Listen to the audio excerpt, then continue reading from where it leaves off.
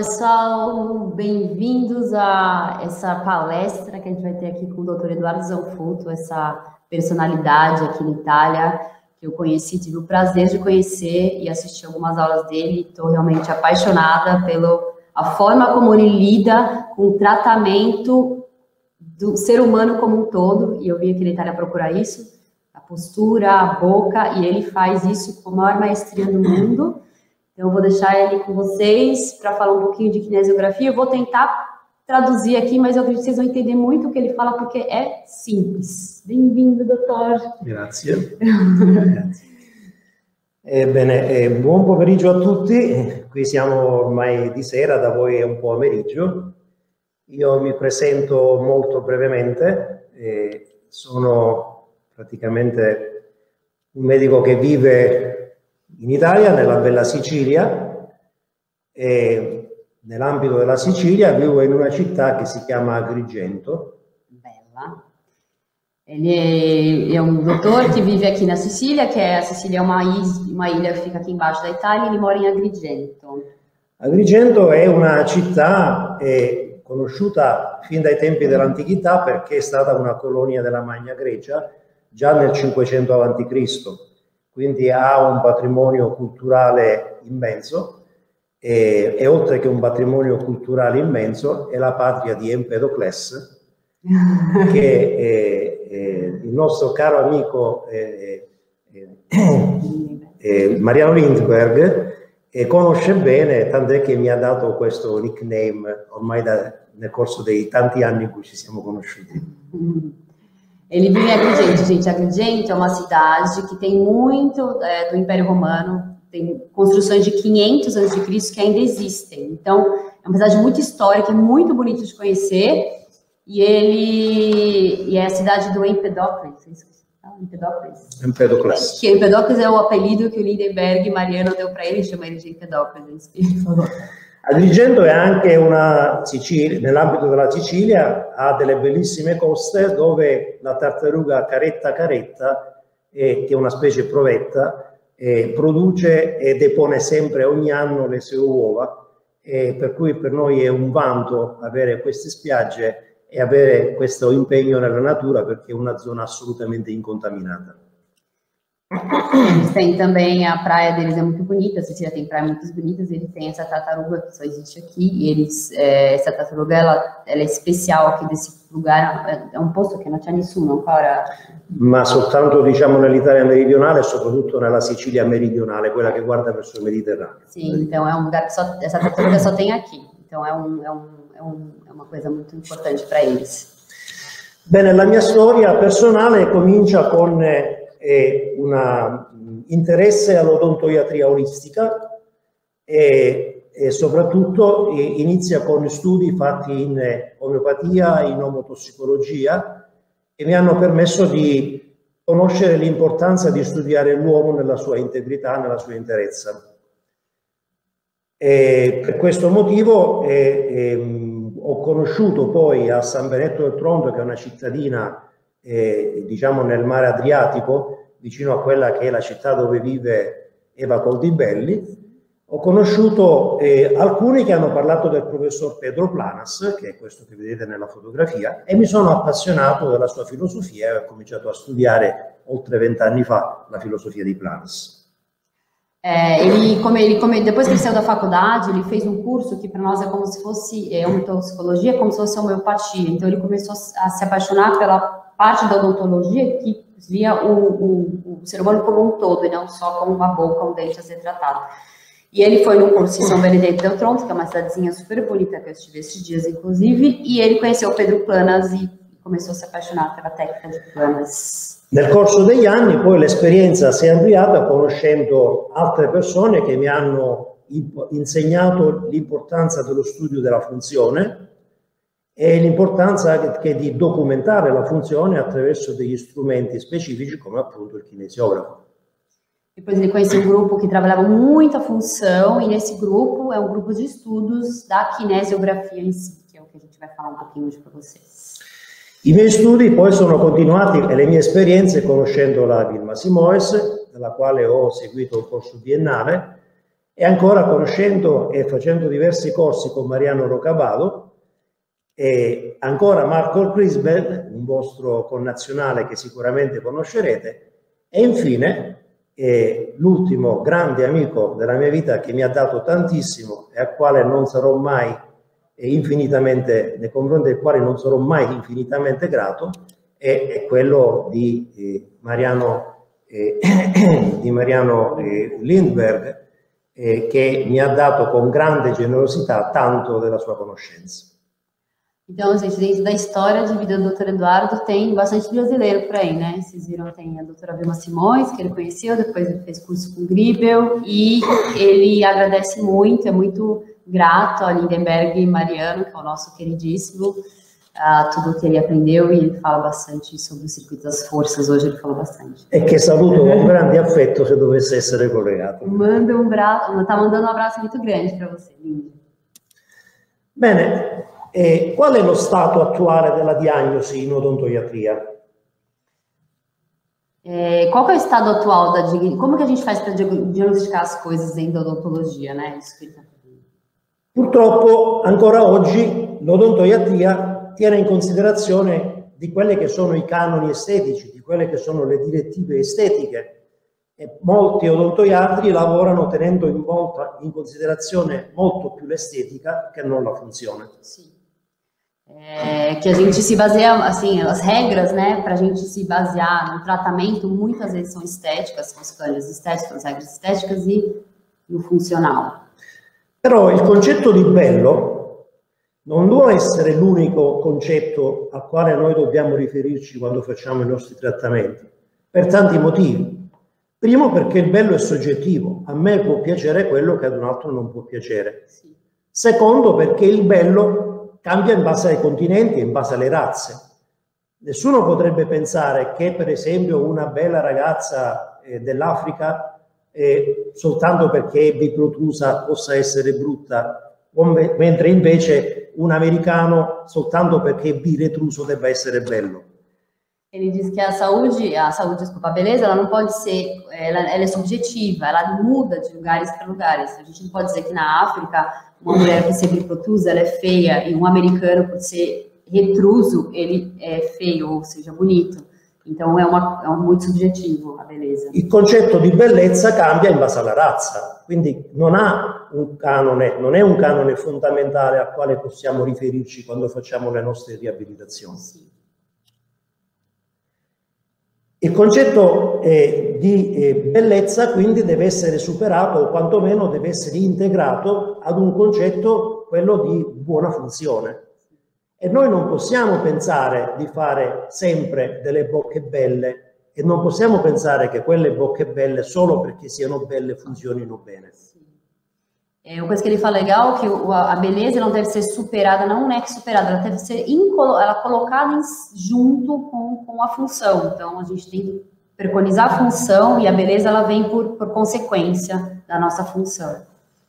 Ad esempio, se noi seguissimo i canoni estetici che normalmente vengono seguiti dalla scuola anglosassone nella costruzione di apparecchi ortodontici pretorchiati e nell'uso di fili ortodontici preformati, creeremmo sicuramente delle belle bocche, ma non avremo sicuramente la certezza che queste bocche funzionino bene. Perché? Sim, gente seguir as escolas anglo-saxões que ele usa, que tem esses padrões, né, de USP, esses padrões que a gente utiliza dentro da ortodontia, é, certamente isso traria, seria, vai, uma beleza dentro dos padrões dele, mas isso não traria uma função exatamente como deveria ser dentro, ainda mais nas articolações. Questo perché, come ben sappiamo, nessuno di noi è perfettamente simmetrico. ognuno di noi ha delle piccole, anche se piccole, asimmetrie.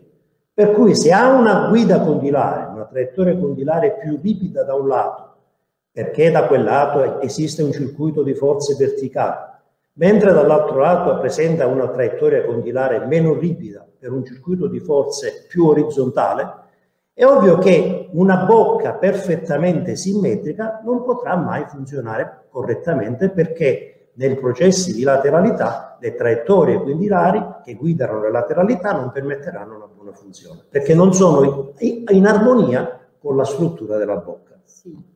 É, ele diz que a simetria é uma coisa que, que é, as pícolas assimetrias são comuns, comuns, então não adianta a gente querer ver aquela boca perfeita. E também de nada, de nada serve você ter uma boca ótima e que você vê uma articulação que ela de um lado ela tem uma, uma, um movimento vertical, o outro horizontal, e eles se confrontam da mesma forma. Elas não se trabalham, deveriam trabalhar da mesma forma. Então, o ideal é procurar uma, um equilíbrio entre as duas coisas.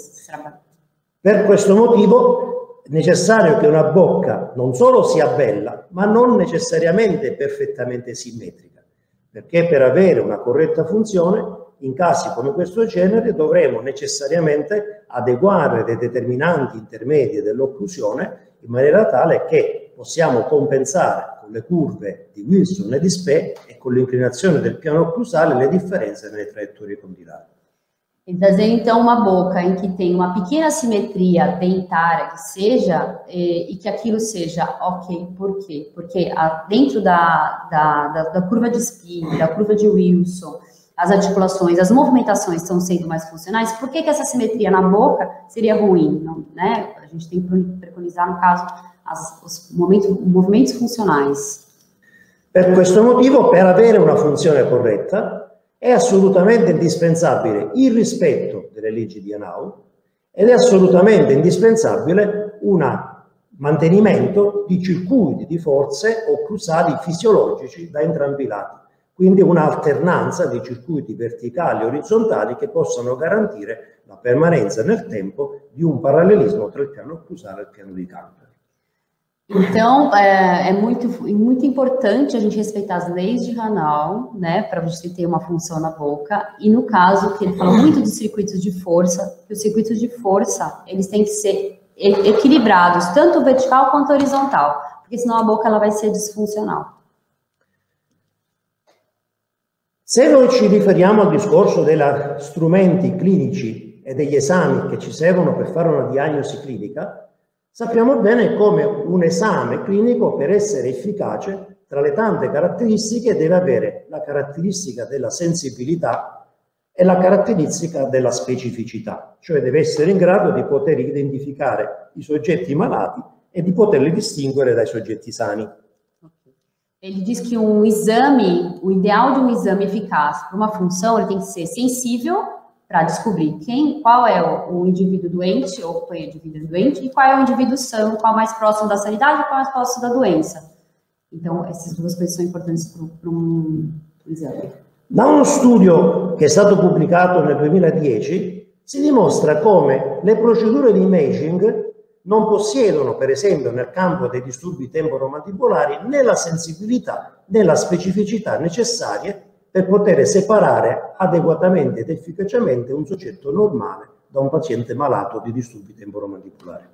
Tem um estudo que foi feito em 2010 em que eles é um estudo que diz que os exames de os exames que a gente faz de imagem, exames de, da, da, TM, da, da ATM, eles não conseguem mensurar se esse indivíduo está mais próximo da doença ou mais próximo da sanidade. Ele consegue dizer o que está de errado, mas ele não consegue mensurar. Per essere efficace uno, uno studio della funzione deve anche avere un'efficacia prognostica, cioè deve poterci mettere nelle condizioni di poter capire che prospettive abbiamo da un punto di vista prognostico di poter far guarire effettivamente quel paziente. E allo stesso modo, per esempio, se noi prendiamo una risonanza magnetica nei modi classici in cui viene fatta, cioè a bocca chiusa e a massima apertura, questa non può avere efficacia prognostica perché la posizione terapeutica non può essere quella della massima apertura, né la posizione di ricattura. Ok. É, o que ele está dizendo é que é, para ser um exame ser exatamente eficaz, né? Ele tem que mostrar que tem a doença e que o que aquilo que como que vai ser o prognóstico daquilo. Então, o que ele diz aqui na ressonância magnética, ele mostra a posição do côndilo, mas ele não mostra para onde o côndilo pode ir, para onde o côndilo pode melhorar, para onde pode ficar, como, como fez. Então, além dos exames que a gente tem, que os exames que tem, é, que a gente faz hoje em dia, tem a sensibilidade e sensibilidade, tem que ter também uma eficácia prognóstica, que os nossos exames de imagem normalmente não têm. Quindi se noi andiamo a considerare quelli che sono gli strumenti diagnostici che abbiamo oggi, abbiamo la possibilità dell'esame clinico, attraverso l'esame obiettivo, attraverso la redazione di una cartella clinica, però questo ha uno scarso impatto medico-legale, mentre gli strumenti, i, i mezzi strumentali come l'RX, la risonanza magnetica o i montaggi in articolatori sono poco significativi per una diagnosi funzionale e spesso sono iperprescritti. Per cui questi strumenti non ci danno delle grandi, non hanno una grande efficacia prognostica. Quer dizer que os exames que a gente tem hoje em dia, dentro do exame clínico, que a gente faz inspeção, palpação, escutação, a gente fazer a ficha clínica do paciente, ele é um pouco, ele é um pouco fraco, né? E além do que os exames de imagem, a gente tem, eles não conseguem nos dar um prognóstico. A gente consegue indicar o sintoma, talvez uma causa, não tanto, mas a gente não tem o prognóstico. La kinesiografia, invece, è un esame che studia i movimenti della mandibola e, e se vogliamo anche le, con l'aiuto dell'elettromiografia, un po' meno con l'utilizzo della TENS, sono degli strumenti che, se ben interpretati, sono dotati di una grande efficacia prognostica. É, então, ele quer dizer que a kinesiografia, que é esse exame que a gente vai apresentar hoje para vocês, ele, ele, tem uma possibilidade de prognóstico muito maior, porque a gente consegue ver. O que está acontecendo, o que pode acontecer e onde a gente pode chegar, junto com o TENS e com um pouco TENS e eletromiografia também, no trabalho da mandíbula. Quindi è un esame di grande efficacia prognostica, perché? È un esame di grande efficacia prognostica, perché?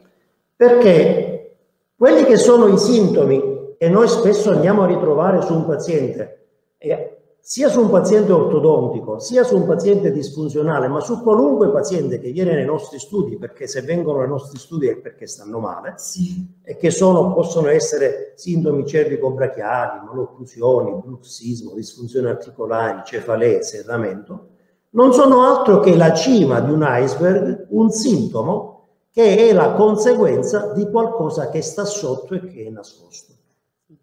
Então, a kinesiografia, talvez, é, tem muitas pessoas que vêm ao nosso consultório com esses problemas, malocusão, dores, é, apertamento, bruxismo, disfunção articular, dor de cabeça, e esses sintomas são todos ali vistos em cima do iceberg, mas o que está embaixo do iceberg a gente não consegue enxergar, e a kinesiografia consegue mostrar um pouquinho disso. L'importanza della kinesiografia è proprio quella di riuscire ad individuare quelle cose che stanno sotto e che stanno nascoste in maniera tale da metterci nelle condizioni non solo di avere un'idea prognostica, ma anche di stabilire un piano di trattamento individualizzato, che sarà diverso da ciascun paziente, da paziente É, ele diz que o que está escondido ali, a kinesiografia consegue mostrar, e que é diferente de um paciente ao outro, e a gente consegue também, além de é, fazer o diagnóstico, a gente saber que caminho tomar porque esse ele vai explicar sobre o triângulo para vocês, que é o triângulo da estrutura que ele, que ele, que ele se baseia né, nesse triângulo de, de equilíbrio estrutural umano.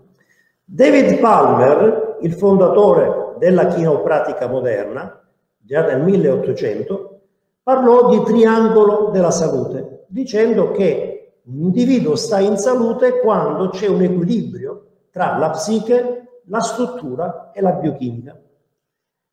Questo equilibrio tra psiche, struttura e biochimica permette un corretto funzionamento di tutte quelle che sono le funzioni del nostro, anche del nostro apparato stomatognatrico. Ok, David Palmer, che è o fundador da quiropraxia, em 1800 ele disse que ele começou a usar esse triângulo da saúde, que tem a, a, a psique, a estrutura e a, bio, e a parte bioquímica do nosso organismo. Qualquer uma dessas partes que está desequilíbrio vai desequilibrar esse triângulo da, saúde. E, e la, la, kinesiologia, non kinesiografia, la kinesiologia, kinesiologia, moderna ci dice che tutte le volte in cui si crea uno squilibrio del triangolo della salute, le funzioni cominciano ad alterarsi. E quindi quando si altera la funzione della respirazione, della deglutizione, della masticazione, della fonazione e anche quella della postura, che non è nient'altro che l'espressione dell'equilibrio del nostro sistema neurovegetativo, questi disturbi si manifestano attraverso dei nostri sintomi che noi dobbiamo andare a curare. Okay. E ele diz que a kinesiologia, não kinesiografia, kinesiologia, que a gente tem no Brasil também, do Guiné do Brasil, estudam, uh, diz que dentro desse triângulo, se qualquer parte desse triângulo não está bem, vai influenciar na postura, na dicção, na mastigação, na deglutição e na respiração, e tudo isso vai ocasionar os sintomas que a gente encontra no nosso consultório, que a gente não sabe qual é a causa, entre aspas, e a gente encontra os sintomas. Per cui il nostro trattamento deve essere sia un trattamento volto a eliminare i sintomi che noi vediamo, ma deve essere volto anche a cercare di individuare ed eliminare quelle problematiche nascoste che influiscono sulle funzioni dell'apparato stomatogniatico. Então, nosso tratamento ele, tem que ser sim focado no sintoma, focado entre aspas, para entender o sintoma, mas ele tem que ser focado nesse triângulo da saúde, para entender da onde começou aquele sintoma, che parte ele veio para a gente poder tratar.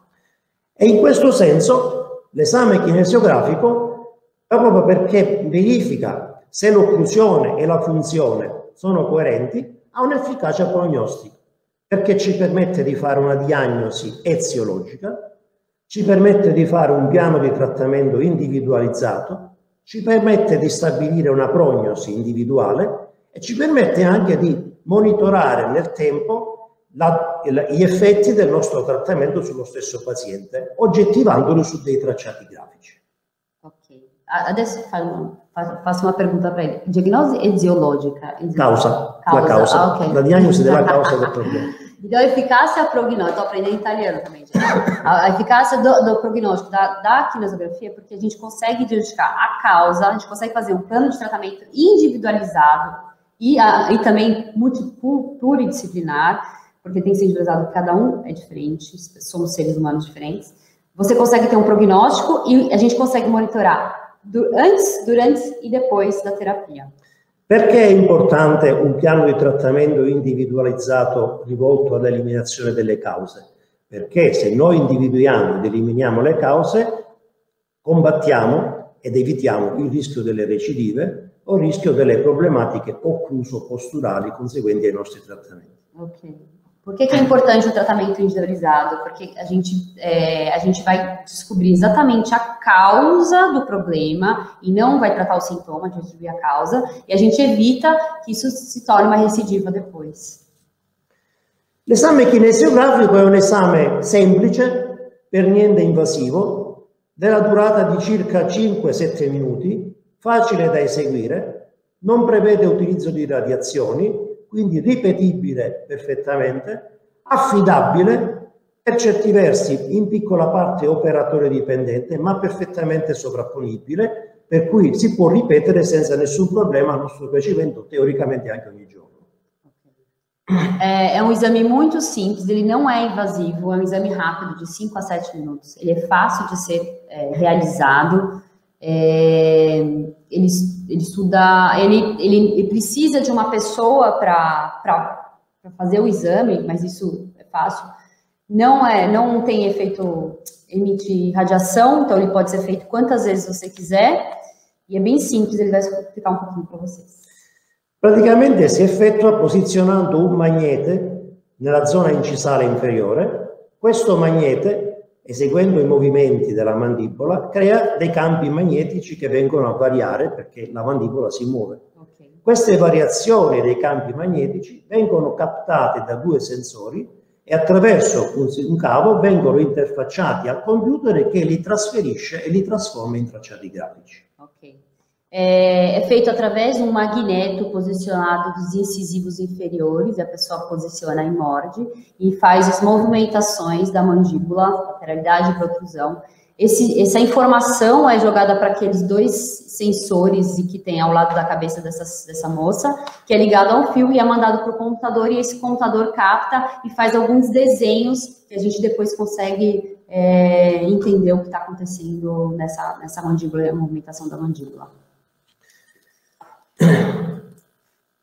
Il movimento è qualcosa di molto complesso perché l'esecuzione di un movimento da parte del nostro organismo, ma anche da parte di tutti gli organismi viventi, richiede un'ideazione a livello cerebrale, richiede la trasmissione degli impulsi nervosi attraverso i nervi che arrivano, che trasportano l'impulso nervoso alla placca motrice, che determina a sua volta l'interessamento del muscolo che si contrae il quale muscolo contraendo si sposta i capi articolari, a sua volta in quale maniera? Attivando e mettendo in tensione i tendini e muovendo le articolazioni.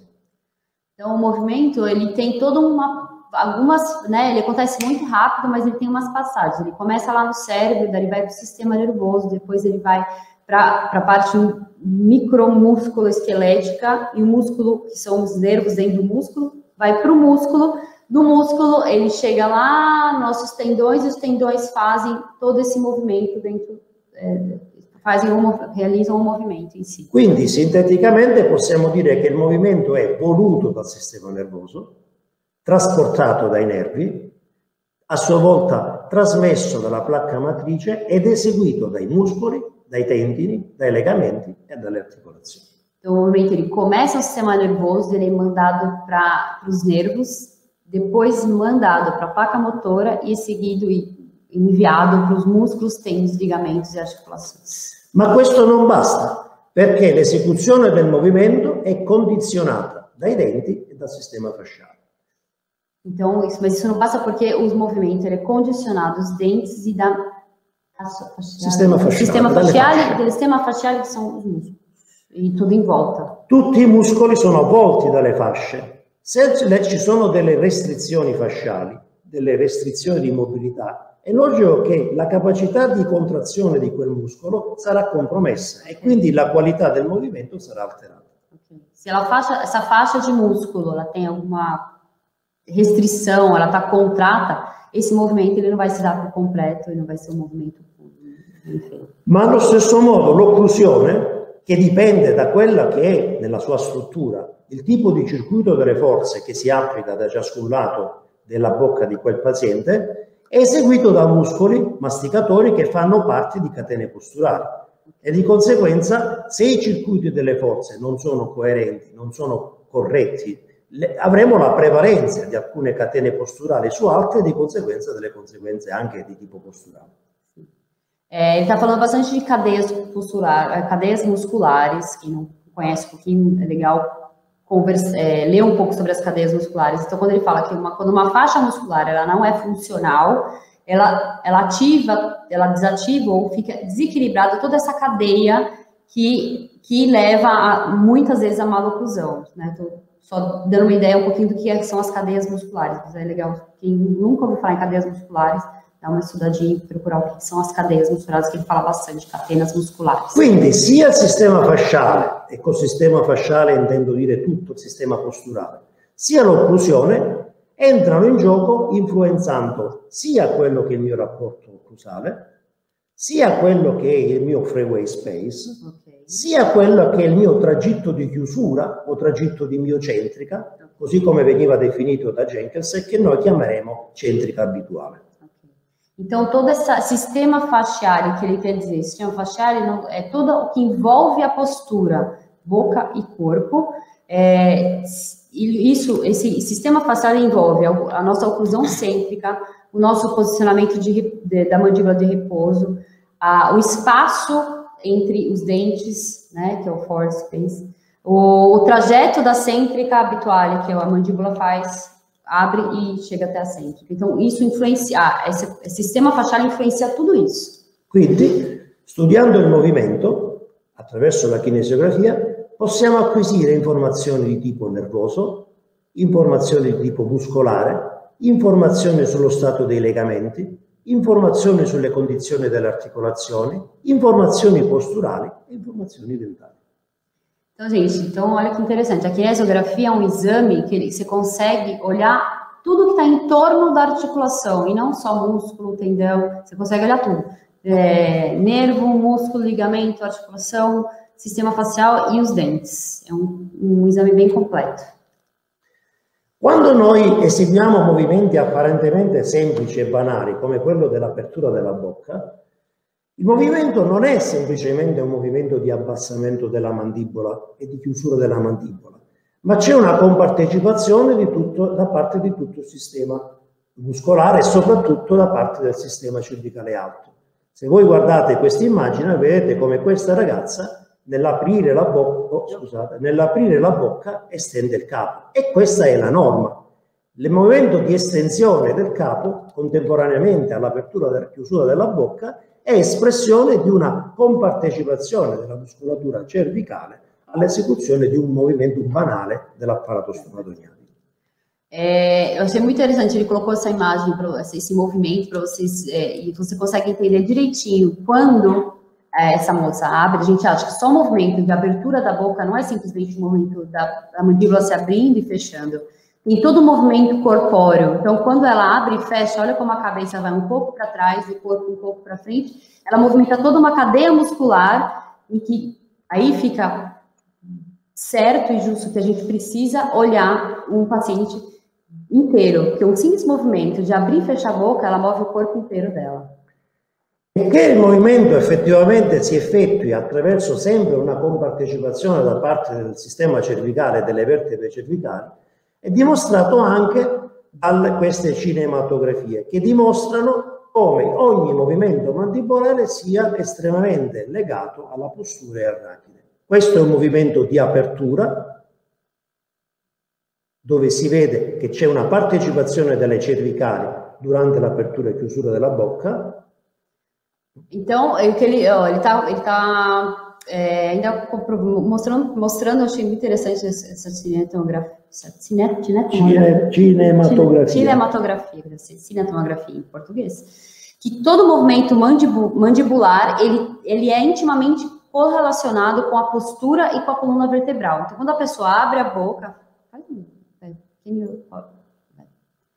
quando a pessoa abre a boca, automaticamente a, cabeça vai um pouco para trás e fica perto da, C, da C1 e da C2, e a C1 e a C2 movimentam junto. E la stessa cosa avviene anche nel movimento di deglutizione. E come a questi due movimenti, qualunque movimento, protrusiva, lateralità e così via dicendo, sono dei movimenti che hanno sempre una compartecipazione più o meno presente da parte della cervicale. Questo è il movimento di deglutizione. O movimento de deglutição agora, pessoal, a mesma coisa. Quando deglute, vocês vão ver que dá, a mandíbula vai para frente, para trás um pouquinho e movimenta a cervical. Não tem como falar, não, não vou movimentar a coluna. Olha lá. Facciamo rivedere. Movimenta, ele vai fazer mais uma vez para vocês verem que é muito interessante o movimento de deglutição, como, como influencia na C1 e na C2.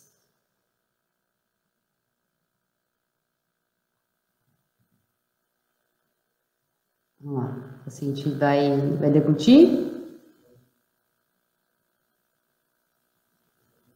Movimentação da, da, da, cervical.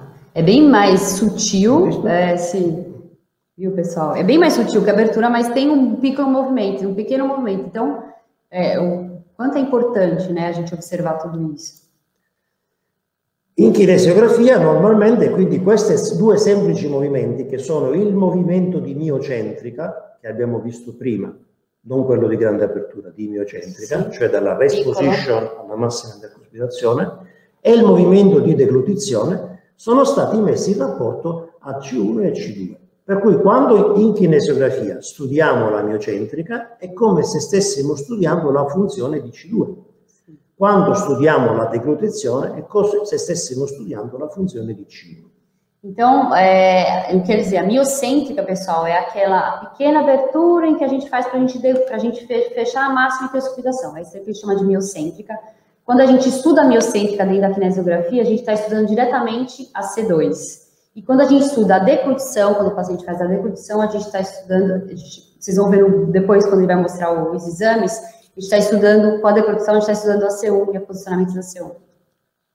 Entrambe le vertebre sono strettamente correlate allo ioide. Per cui nell'istante in cui c'è un problema posturale che determina un'alterazione della posizione fisiologica dello ioide, le vertebre cervicali saranno alterate e quei movimenti di, di deglutizione di miocentrica saranno patologici. Então, essas duas vértebras, elas estão intimamente ligadas ao ocioide. Porque que, que osso que faz, né, ajuda na, na, na abertura do fechamento? O ocioide. Então, quando a gente abre e fecha, diretamente ligado. O ocioide com a C1 e com a C2. Jenkinson nel 1969 fu colui che inventò la kinesiografia e e, e soprattutto nell'ambito della kinesiografia inventò, o meglio scoprì, il tragitto di miocentrica, ah. cioè quel tragitto che va dalla posizione di riposo della mandibola alla massima intercuspidazione. Esse cara aí, o Bernard Jackson, foi o cara que, que desenvolveu a kinesiografia e ele que padronizou esse miocêntrica, que é o movimento da, do repouso, momento da repouso da mandíbula até a, cêntrica, a maior cêntrica. Ele que padronizou esse termo miocêntrica. Però lo studio del movimento di miocentrica di Jenkinson venne ad essere effettuato attraverso l'utilizzo della TENS. Mm. Cioè in pratica Jenkinson cosa faceva? Rilassava la muscolatura elevatrice mandibolare con la TENS e poi misurava la traiettoria di miocentrica. Ehm, lui faceva quello con, con la tense. Con la sì. Allora, prima faceva la tense, rilassava i muscoli, dopo aver rilassato i muscoli andava a registrare ah, il movimento okay. videocentrico. É, ele está dizendo que assim, ele, ele usava já uh, o registro da kinesiografia, mas ele usava primeiro o TENS para relaxar toda a musculatura desse paciente e depois fazia a movimentação depois do TENS com a kinesiografia.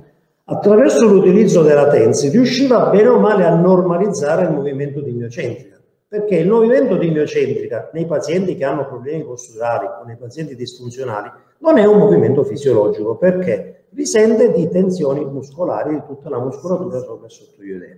Rilassando la muscolatura elevatoria lo normalizzava. É, ele está dizendo que ele fazia isso e ele relaxava toda a musculatura e aí a, a, o paciente que vinha com uma certa, um certo problema, ele conseguia, ele tirava e fazia o exame depois uh, de, de, ter feito o TENS, ele fazia esse esame depois.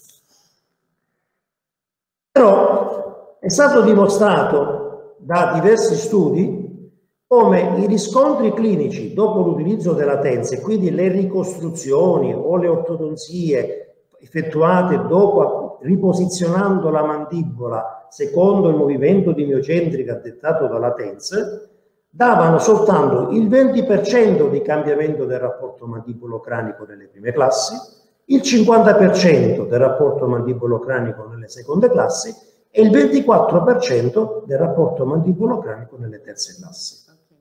Cioè significa che quel tipo di traiettoria che veniva cercata e ritrovata da, Tens, da, da, da Jenkinson non era sempre quello veritiero, non era quello al quale il paziente riusciva ad abituarsi dopo il trattamento. Okay. Lui, eh, lui, lui ave, aveva cambiato solo il 20% di quello. Esatto, perché... aveva ottenuto risultati stabili nel Però, 20%, nel 50%, okay. nel 24%. Ele disse que o, esse, esse Berg Jefferson, ele fez, ele conseguiu depois do uso do TENS, ele conseguiu a melhora eh, lui ha usato solo TENS, non ha usato niente dopo. Usava la TENS, TENS e poi in base a quella traiettoria faceva la coronoplastica, okay, okay, la protesi. Okay, é, então, o tratamento desse, né, desse Bernard James, eu estou perguntando aqui para entender direitinho, para explicar para vocês, era usar a TENS. E aí ele, ele conseguiu esses resultados na, em classe 1, só 20%, em classe 2, 50%, em classe 3, 24%, porque ele não usava outro tipo de aparelho, a não ser o TENS, e depois fazia a, re, a reabilitação daquela boca. Quindi non sempre la traiettoria di chiusura dopo TENS è stabile e viene accettata dal paziente. Então, quer dizer assim, nem sempre o uso do TENS é, e a, o, o, resultado que você obtém com o TENS, ele é estável e aceitado pelo paciente. E questo perché? Perché il tragitto di miocentrica risente di quello che è l'atteggiamento posturale di una persona. Okay. Questo esperimento dimostra come il tragitto di miocentrica è, cambia nella sua traiettoria di chiusura se il paziente sta in una posizione di appoggio bipodale, okay. se poggia solo sul piede destro o se poggia solo sul piede sinistro. Quindi è influenzato dalla postura.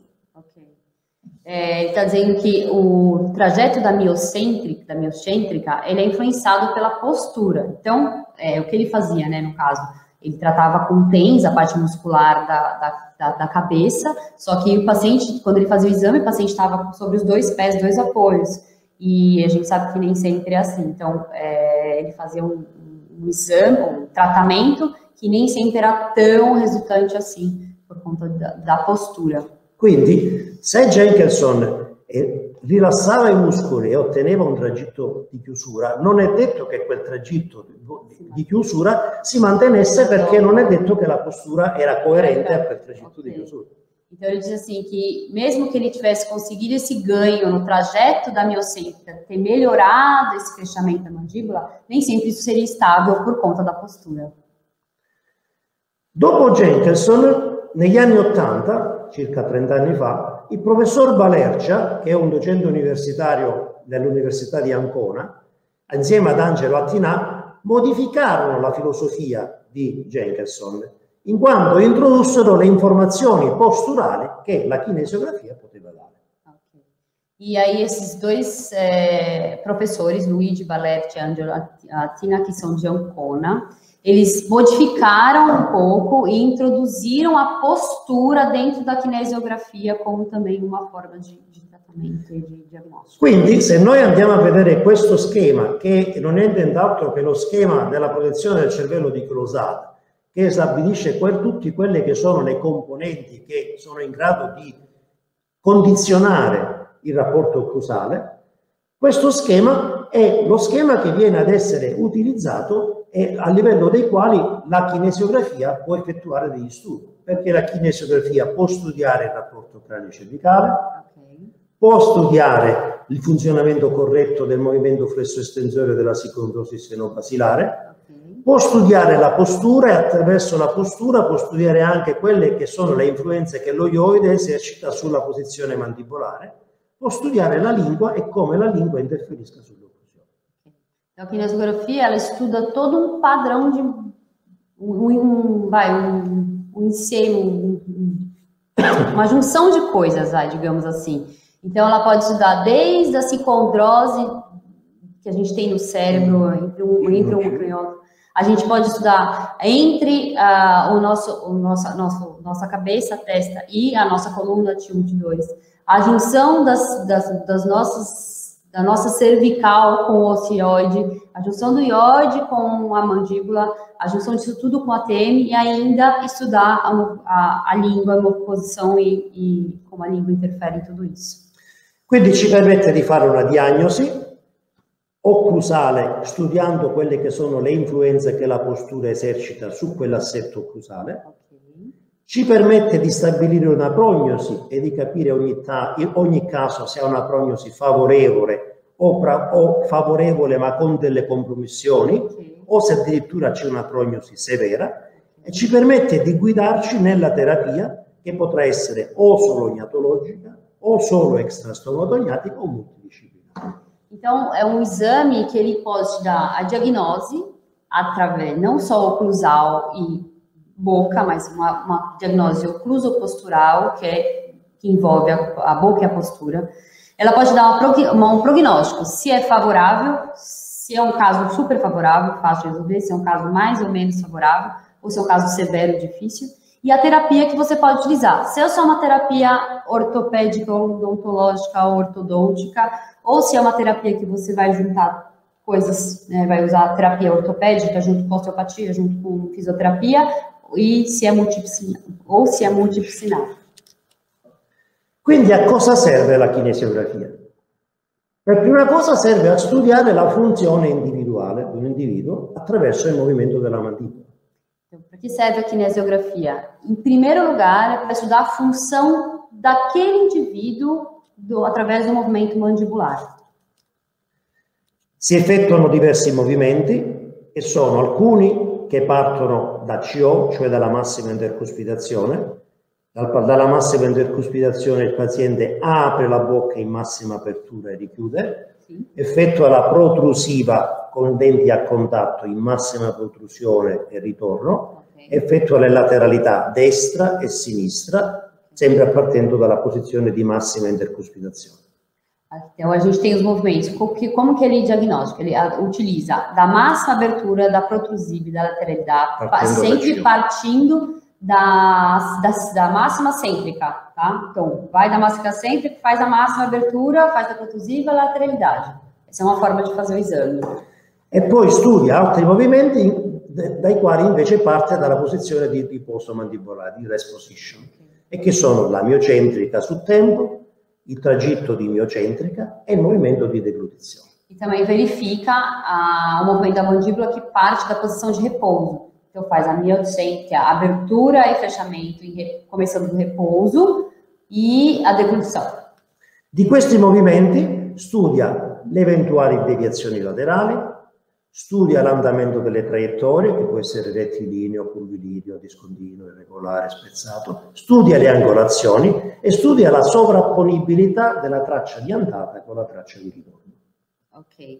Então, na, o que você pode estudar, o que você pode obter através desse exame é se você tem algum desvio lateral, o tipo de trajetória dessa mandíbula, se ela pode ser reta, se ela pode ser curva, se ela pode ser contínua, irregular, espaçata, e o ângulo que ela faz, e o, grado, o grau de superponibilità. Sovrapponibilità, cioè se sono una sopra l'altra o se si discostano. Ah, sì, sì, è un grado di quando quando, so, quando soprappõe do Cioè la traccia di andata, la Ah, traccia sì, di andata andata e quella di ritorno verso. su quella, Ok. oppure divaricata, Ok, oppure spostata. ok.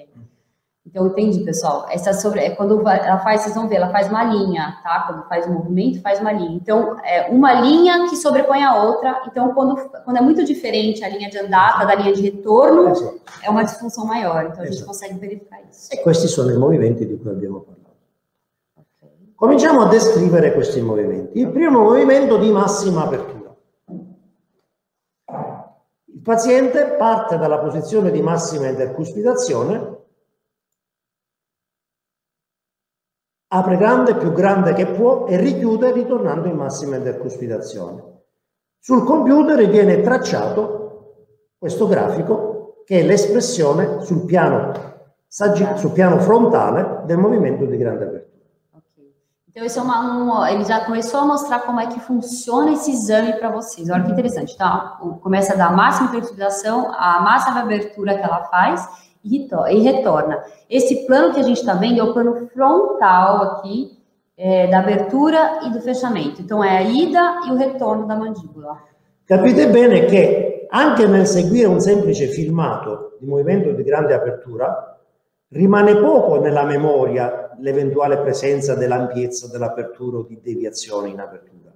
Rimane pouco? Nella memoria ti ricordi poco di quanto ha deviato, di quanto non ha Ah, deviato. sì, sì, sì. Mentre se rimane un tracciato grafico, sapendo che un quadratino qui corrisponde ad un millimetro, sappiamo per certo che questo paziente ha aperto 1, 2, 3, 45 millimetri e che in massima apertura ha subito una deviazione di circa 2 millimetri. Ok, ogni quadrato per Ogni quadratino qui è un centimetro. um centímetro.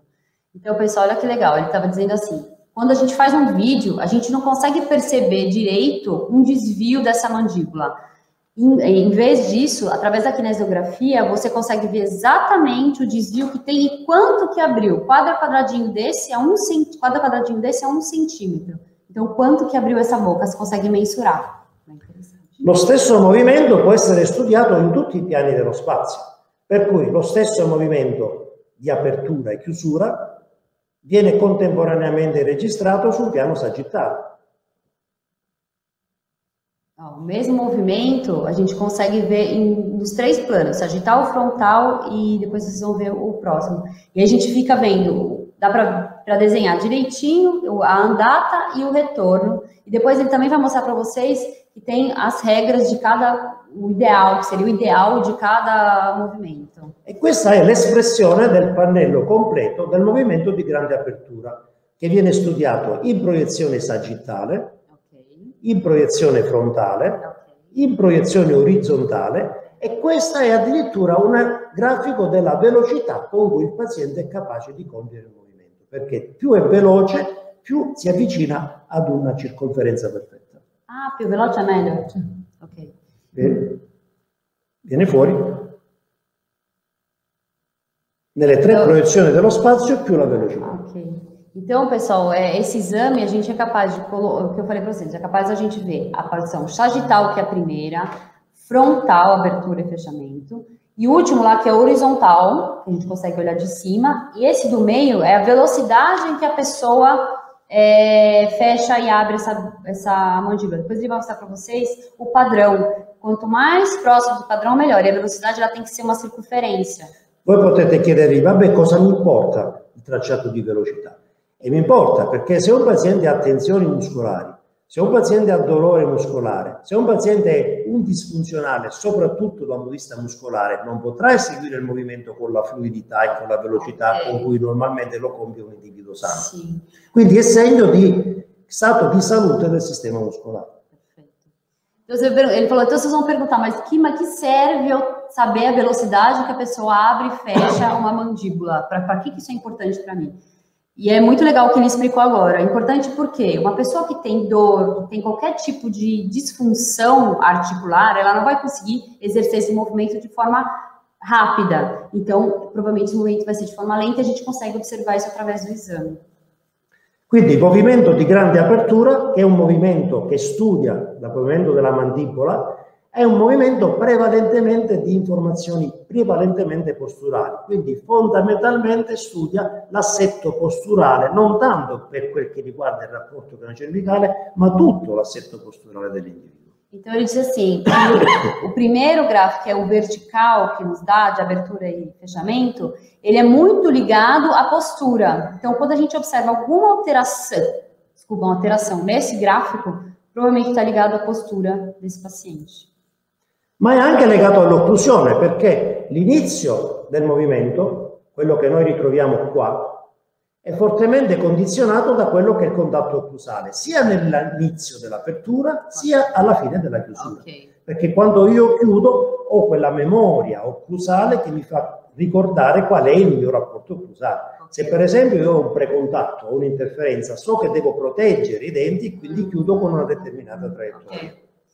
Então, ele está dizendo também que, além de ser postural, também é oclusal, porque o começo do gráfico, se você ver lá em cima, é a parte do fechamento e da abertura. Então, é o, então a gente consegue observar o quão rápido esse paciente ele vai chegar ali e vai fechar, ou se ele tem algum desvio por algum contato prematuro. Então, é tanto postural, mas também é oclusal.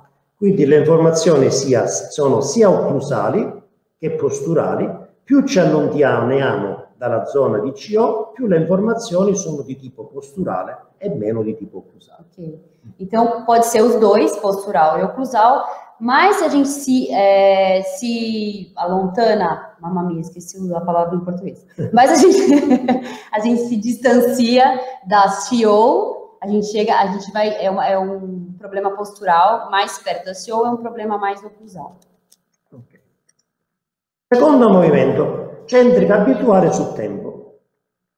Il paziente viene invitato a mettersi in posizione di rest position, poi viene invitato a chiudere la bocca okay. e a compiere delle battute come se, come se battesse i denti, adesso okay. si vede. Rest position, chiude, ah, okay. poi ritorna in rest position, chiude, ok. Qua c'è centrica abituali tempo, per quello c'è il tempo. Sul capito? tempo. Sì, sì, sul tempo. Gente, spiega il movimento e dopo vediamo il Ok. É interessante que agora esse é um, uma forma, um passo do exame, que é você deixar a pessoa em, em, repouso, a mandíbula em repouso, e aí ela fecha e faz várias batidinhas, né? Dá um estímulo de, de, de fechamento da boca, para, depois faz de novo, para e faz de novo. Nel tracciato su funzione tempo viene fuori questo tipo di tracciato. Un traçado do tempo da centrica. Rest position, massima intercuspitazione, battute. Massima oh. intercuspitazione, movimento di rest position, massima intercuspitazione, battute. Ok. Então esse primeiro ápice qua è la rest position. Questa è la rest position qui. Okay. Questa è la massima intercuspitazione, okay. queste sono le battute. Então, primeiro aqui embaixo a posição de repouso, a chiusura e a, o fechamento e, e batendo os dentes. I tre tracciati indicano lo spostamento che la mandibola compie dalla rest position alla massima interscrutinazione in senso verticale, okay. in senso antero-posteriore okay. e se subisce delle deviazioni sul piano frontale durante questo movimento. Ah, e os três traçados é, a gente, o traçado ele vem da parte vertical, da antepos, é, antero-posterior antero e como que muda e lateralidade, como que quando a pessoa bate os dentes muda a mandíbula anda lateralmente. È naturale che da questo tipo di tracciato possiamo vedere se c'è una perdita di dimensione verticale, perché se c'è una perdita di dimensione verticale il freeway space qui sarà aumentato. Sarà aumentato. Se è aumentato vuol dire che c'è perdita di dimensione verticale. Então ele diz assim, se esse primeiro freeway space, que é a parte livre, né, da abertura, ela, se a pessoa tem uma dimensão vertical diminuída, diminuída é aumentado, esse, esse traçado é aumentado. Qui possiamo vedere il percorso che compie la mandibola da dietro in avanti durante il movimento di chiusura okay. e per convenzione quando la traccia va in alto vuol dire che la mandibola va avanti, se la traccia va in basso vuol dire che la mandibola va indietro. È diverso se è, troppo, se, è troppo, se è più grande, se è più piccolo. Certo que é diverso. Sim, diverso. Então, ele está dizendo que essa primeira subida aqui é a posição, se a, a, se a mandíbula, se ah, ela vai avante, o traçado vai para cima. Se a mandíbula vai para trás, o traçado vai para baixo. E essa altura diversa também modifica a abertura, a quantidade de abertura que a pessoa tem. Questa zona di qua, invece, che corrisponde alla posizione di rest position, ci dà un'informazione dello stato di tensione muscolare. Perché se i muscoli sono in tensione, la mandibola non starà ferma, ma sarà tremolante. Sì. Essendo tremolante non avremo un tracciato di questo genere, ma avremo un tracciato discontinuo. Olha que legal, pessoal. Oh, esse, ah, esse anteroposterior, esse do meio, mostra quando a, pessoa, a mandíbula está em repouso e quando a mandíbula está em repouso, ela começa a fazer, se ela tem uma contração, a pessoa tem uma contração, a pessoa tensa, está numa tensão, ela continua fazendo o movimento. E aí no traçado você consegue ver se ela tem uma tensão, qualquer músculo, uma seta temporal, é, qualquer músculo que provoca o fechamento da mandíbula, que esteja hipertônico, vai mostrar, vai mostrar nessa parte do exame. Quindi partiamo dalla posizione di rest position, abbiamo la chiusura in occlusione centrica, abbiamo la stabilizzazione in occlusione, abbiamo le battute, dopodiché ritorna di nuovo in rest position, okay. abbiamo di nuovo la rest position, la chiusura, le battute. Okay. Centrica abituale o miocentrica, quella definita miocentrica, da, da Jenkinson. Il paziente va in rest position, però questa volta chiude una sola volta senza eseguire le battute. Okay. Chiude e rimane a bocca chiusa, rimane in massima intercuspidazione. Quindi il movimento è questo. Ok. Essa, essa parte do exame é a, a cêntrica, né? A cêntrica habitual, que é a nossa. Então, começa da, da mandíbula em repouso, fecha e volta. É isso. E il tracciato sul piano frontale okay. sarà un tracciato dritto, senza deviazioni laterali in okay. fisiologia. Quando, em fisiologia normale. In fisiologia. Então, o ideal é esse traçado, esse traçado reto sem desviação nenhuma, isso seria o mais funcional possível. La stessa cosa viene fatta in piano sagittale, il paziente va in rest position, chiude, tac, il tracciato è un tracciato obliquo dal basso verso l'alto, da in avanti, con un'angolazione di circa 45 gradi in fisiologia. Ok. Uh, o plano sagital, então, a mesma coisa, a gente vai olhar, um, a gente vai conseguir. O ideal fisiológico seria um traçado reto a 45 graus, que pega esses dois, dois quadradinhos, isso seria o mais fisiologico. Il tracciato complessivo mi permette di vedere quindi l'orientamento del tragitto di miocentrica in proiezione sagittale, l'orientamento dalla rest position nella nostra esecuzione, sì. l'orientamento in proiezione frontale e l'orientamento in proiezione orizzontale.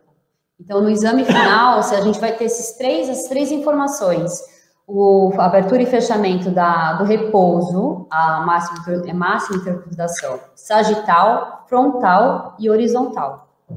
Abbiamo detto che il tragitto di miocentrica è strettamente correlato alla seconda vertebra cervicale. Quindi stiamo studiando che cosa? Stiamo anche con questi tracciati, a secondo di quella che è la loro angolazione, la loro inclinazione così dicendo, stiamo studiando la funzione delle prime vertebre cervicali e in particolare della seconda vertebra cervicale. Então, nessa primeira parte, essa, essa parte do exame da cêntrica virtuale, que é a cêntrica, a cêntrica, a cêntrica própria, a gente está estudando mais a ligação que isso tem com, com a cervical. De preferência, disse, na cervical na C2. Ma se vogliamo, attraverso il tragitto di miocentrica su tempo, che è quello che abbiamo visto prima, visto che studiamo nelle tre posizioni dello spazio come la mandibola si approccia al mascellare superiore, stiamo anche svalutando con, con maggiore attenzione il rapporto mandibolo-cranico, cioè tra la mandibola e il mascellare superiore, e quindi non soltanto della, prima, della seconda vertebra cervicale. Quindi stiamo studiando come lo ioide influisce su un'eventuale posizione sagittale o torsionale della mandibola nell'approcciarsi al mascellare superiore. Ah, então, o que ele quer dizer é que quando a gente é, estuda essa parte de, do fechamento, a gente está estudando também o, o osso ioide, que é ele que participa nessa movimentação de abertura e fechamento, ele que é um dos mais importantes, que faz a movimentação da mandíbula para cima e para baixo, que a gente pode observar através do exame. Ma alla stessa maniera, se abbiamo una, per esempio, una inclinazione patologica del piano occlusale superiore, stiamo anche studiando l'occlusione, perché nell'istante in cui queste battute si vengono ad evidenziare, possiamo vedere se c'è instabilità occlusale, possiamo vedere se ci sono deviazioni in lateralità durante il contatto in massima intercuspidazione, e quindi stiamo anche studiando Então, a gente também está estudando a oclusão, porque se tiver qualquer desvio na arcada superior, ou que seja na arcada superior, isso vai modificar e a gente vai conseguir, né, isso vai dar no exame, a gente vai ver diferenças né, nesse gráfico que vai indicar que tem algum problema ali na oclusão que está modificando essa, esse, esse batido, esse encaixe da oclusão. Tracciato di deglutizione. Il paziente viene invitato a avere un po' di saliva in bocca, okay. E poi dalla resposition gli si dice di deglutire spontaneamente. Normalmente nella deglutizione spontanea cosa abbiamo? Passiamo dalla resposition, abbiamo una stabilizzazione in occlusione e poi parte della mandibola in occlusione e poi parte il movimento di deglutizione. Per cui quello che vedi, il movimento che compie è questo. Essa parte do exame é a parte de verificar a deglutição, então o paciente, a gente pede para o paciente pôr um pouco de saliva na boca e a partir da posição de repouso, ele faz a deglutição e a gente faz o exame para saber o que, qual, qual, o risultato desse Anche in questo caso il tracciato visto in proiezione frontale sarà molto simile a quello che abbiamo L'ideale sarebbe dritto. L'ideale dovrebbe essere dritto di circa un centimetro e pre, pre, privo di deviazioni sia da un lato che dall'altro, sul piano contabile. Então, o ideal, né, o resultado fisiológico seria, seria ser é, reto assim, sem desvios nenhum, desvio nenhum da deglutição. La stessa cosa, anche per quanto riguarda il momento di deglutizione, lo possiamo fare sul, sul piano sagittale. A mesma coisa a gente pode fazer no plano sagital, a deglutição, e o traçado é bem parecido com a cêntrica, que tem que ser 45 graus na diagonal. Anche in questo caso la norma fisiologica dice che l'orientamento sagittale del tracciato di deglutizione dovrebbe avere un'inclinazione di 45 eh, in prima classe, con un piano occlusale parallelo al piano di Camper.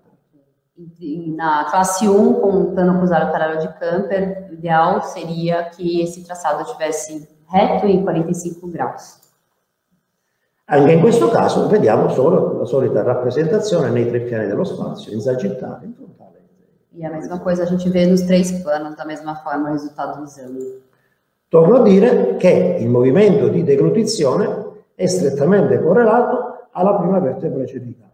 Quindi un'anomalia del tracciato di deglutizione ci dà informazioni su un'anomalia funzionale e strutturale e posizionale di C1. Como ele já falado lá no começo, se vocês lembram, é, a deglutição ela está ligada diretamente a C1. Então, se através do traçado você vê algum, alguma disfunção na deglutição, nesse traçado que a gente viu agora, provavelmente tem algum problema ali na C1. tanto como na C2, o, tra o traçado da miocêntrica, que é a cêntrica, a cêntrica habitual, se você tem algum problema ali, provavelmente vai ter algum problema na C2. Quindi, quando studiamo la miocentrica e studiamo la deglutizione, non stiamo solamente studiando queste due funzioni dell'apparato stomatogniatico, ma stiamo anche capendo se la prima e la seconda vertebra cerebrale sono flesse, sono estese o sono ruotate. Okay. Então, quando a gente está estudando esses movimentos de miocentro e deglutição, a gente está estudando só o movimento em si da mandíbula, mas a gente está estudando se as, a, a, posição dessas cervicais, da C1 e da C2, elas estão flexionadas, estendidas ou rotadas. A gente pode descobrir através do exame. Perché sotto collegate le otoide. Okay. Quindi con la deglutizione, anche con la deglutizione, studiamo soprattutto la zona di C1. Então, também com essa parte do exame de deglutição, a gente também estuda bastante a cervical, a ioide. Ma siccome C1 è strettamente correlato allo ioide, se C1 è in torsione, anche lo ioide sarà in torsione. Mm -hmm. E quindi stiamo studiando anche l'effetto, la posizione dello ioide e come lo ioide agisce alterando la funzione della lingua e alterando la. Okay. Então, como quando a gente estuda a C1, ela está muito ligada ao ocioide, e se a C1 ela está com uma torção, provavelmente o iode também tem uma torção, ocasionando também alguma, alguma, alguma uma posição inadequada da língua pode provocar uma maloclusão. Movimento di protrusiva. Protrusão. Il paziente dalla massima intercuspidazione senza staccare i denti va alla massima protrusiva possibile e ritorna indietro nella posizione iniziale. É, o exame da a parte da, do exame de protrusão, ele, essa parte começa em máxima intercuspidação, sem, a, sem abrir os dentes, ele faz a máxima protrusão e retorna. Anche questo movimento lo possiamo studiare nelle tre proiezioni dello spazio, quindi lo possiamo studiare sul piano sagittale, sul piano frontale. E esses três, é, e a protrusão a gente pode estudar nos três, os três planos do espaço, frontal, sagital e horizontal. Possiamo per esempio in questo caso vedere se c'è una risalita fisiologica dopo una risalita? Una, un movimento di protrusiva normalmente scende perché c'è la guida incisale poi arriva a testa a testa incisale e poi tende a salire verso okay. l'alto. Quindi vogliamo, possiamo vedere se la protrusiva è fisiologica o se non c'è una risalita, okay, per esempio una protrusiva okay, quebrata. Okay. Ecco. Possiamo vedere se subisce delle deviazioni sul piano frontale, possiamo vedere se subisce delle interruzioni e possiamo anche, soprattutto, studiare l'ampiezza dell'overbite. Ok. Eh, fammi spiegare quello un po', che è interessante. Então, através desse, esse exame, a gente pode estudar, porque a gente, o normal de uma protrusão, ela é sair de um ponto, descer um pouquinho e subir de novo. Então, a gente pode ter uma ideia, se não tem essa subida que é, que é fisiológica, que normalmente quando tem que subir, tem casos que ele não sobe, se tem alguma desviação, algum desvio é, dessa mandíbula, e o último que é detto...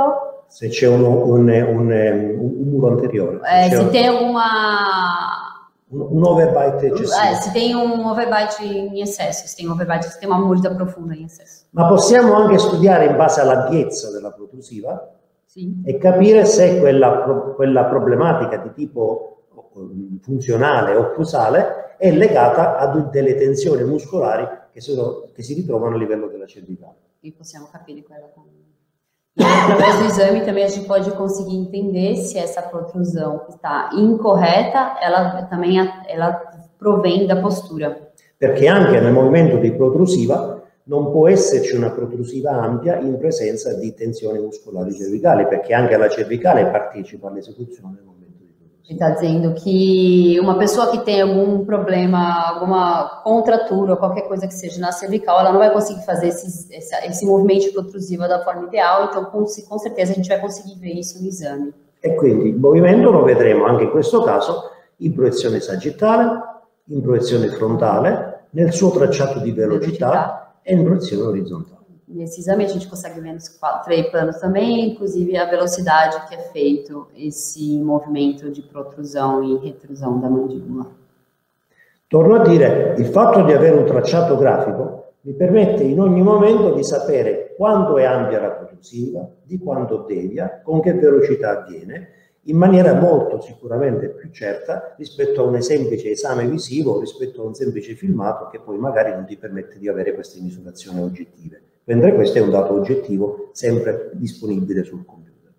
É, então, ele explica mais uma vez que é, esse exame a gente, a gente, é capaz de observar dire, muito, muito bem qual é, a, a, a, trajetória do movimento, tanto sagital quanto frontal, quanto a velocidade da mandíbula horizontal. E a respeito de um, um vídeo que a gente faz, a gente tenta entender qual que é esse desvio. Por exemplo, você pode tornar um pouco quello? É, o desvio, por exemplo, no frontal, a gente consegue ver exatamente o desvio, se essa mandíbula desvia ou não. Então, é isso que a gente consegue ver através do exame que a gente às vezes não consegue ver no vídeo.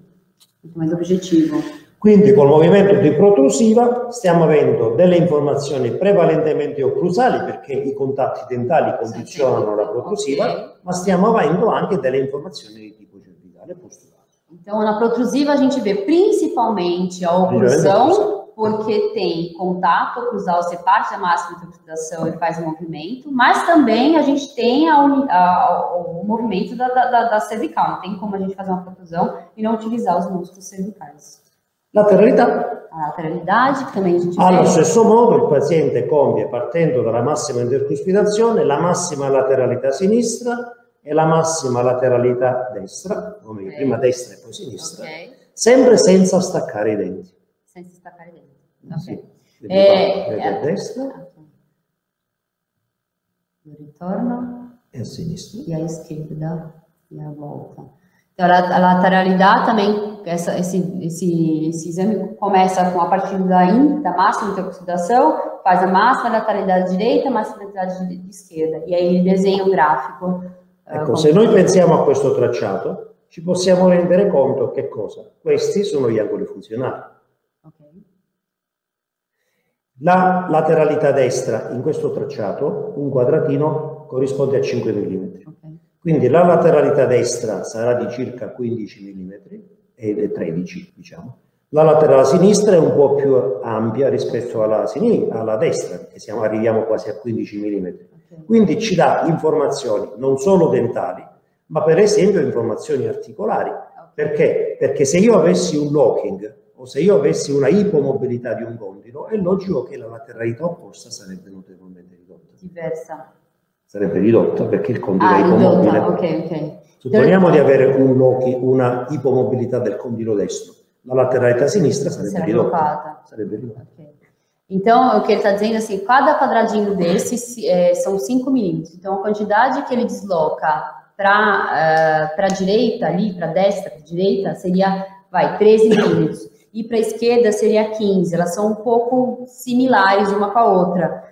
É, só que, por exemplo, se a pessoa tivesse uma, uma frouxidão ligamentar do lado direito, provavelmente do lado esquerdo a gente ia verificar um, um bloqueio e ela não ia andar tanto, assim, a mandíbula não ia andar tanto. Posso fare una domanda? Come? E, e qua, perché che il rosso non ritorna proprio bene? Come... Il, fatto che il, il, il fatto che il tracciato rosso non sia sovrapponibile al tracciato verde vuol dire che c'è una asimmetria di tono nelle catene crociate, ah, per cui traccia, tra, le tracce non possono essere sovrapposte come in questo ah.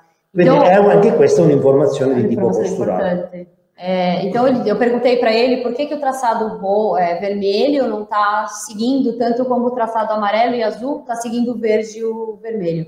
Ele disse que, o, que provavelmente nessa volta, quando a pessoa faz o retorno, ela, ela na quando la persona fa il ritorno c'è la... Normalmente se sono, non sono sovrapposti, le cause possono essere due.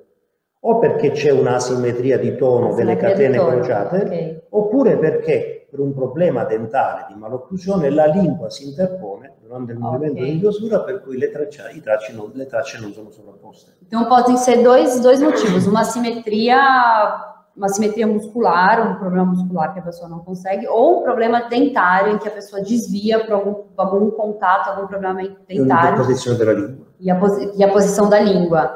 E aí, nesse exame, a gente consegue ver direitinho e tentar entender o porquê que esse paziente faz a lateralidade.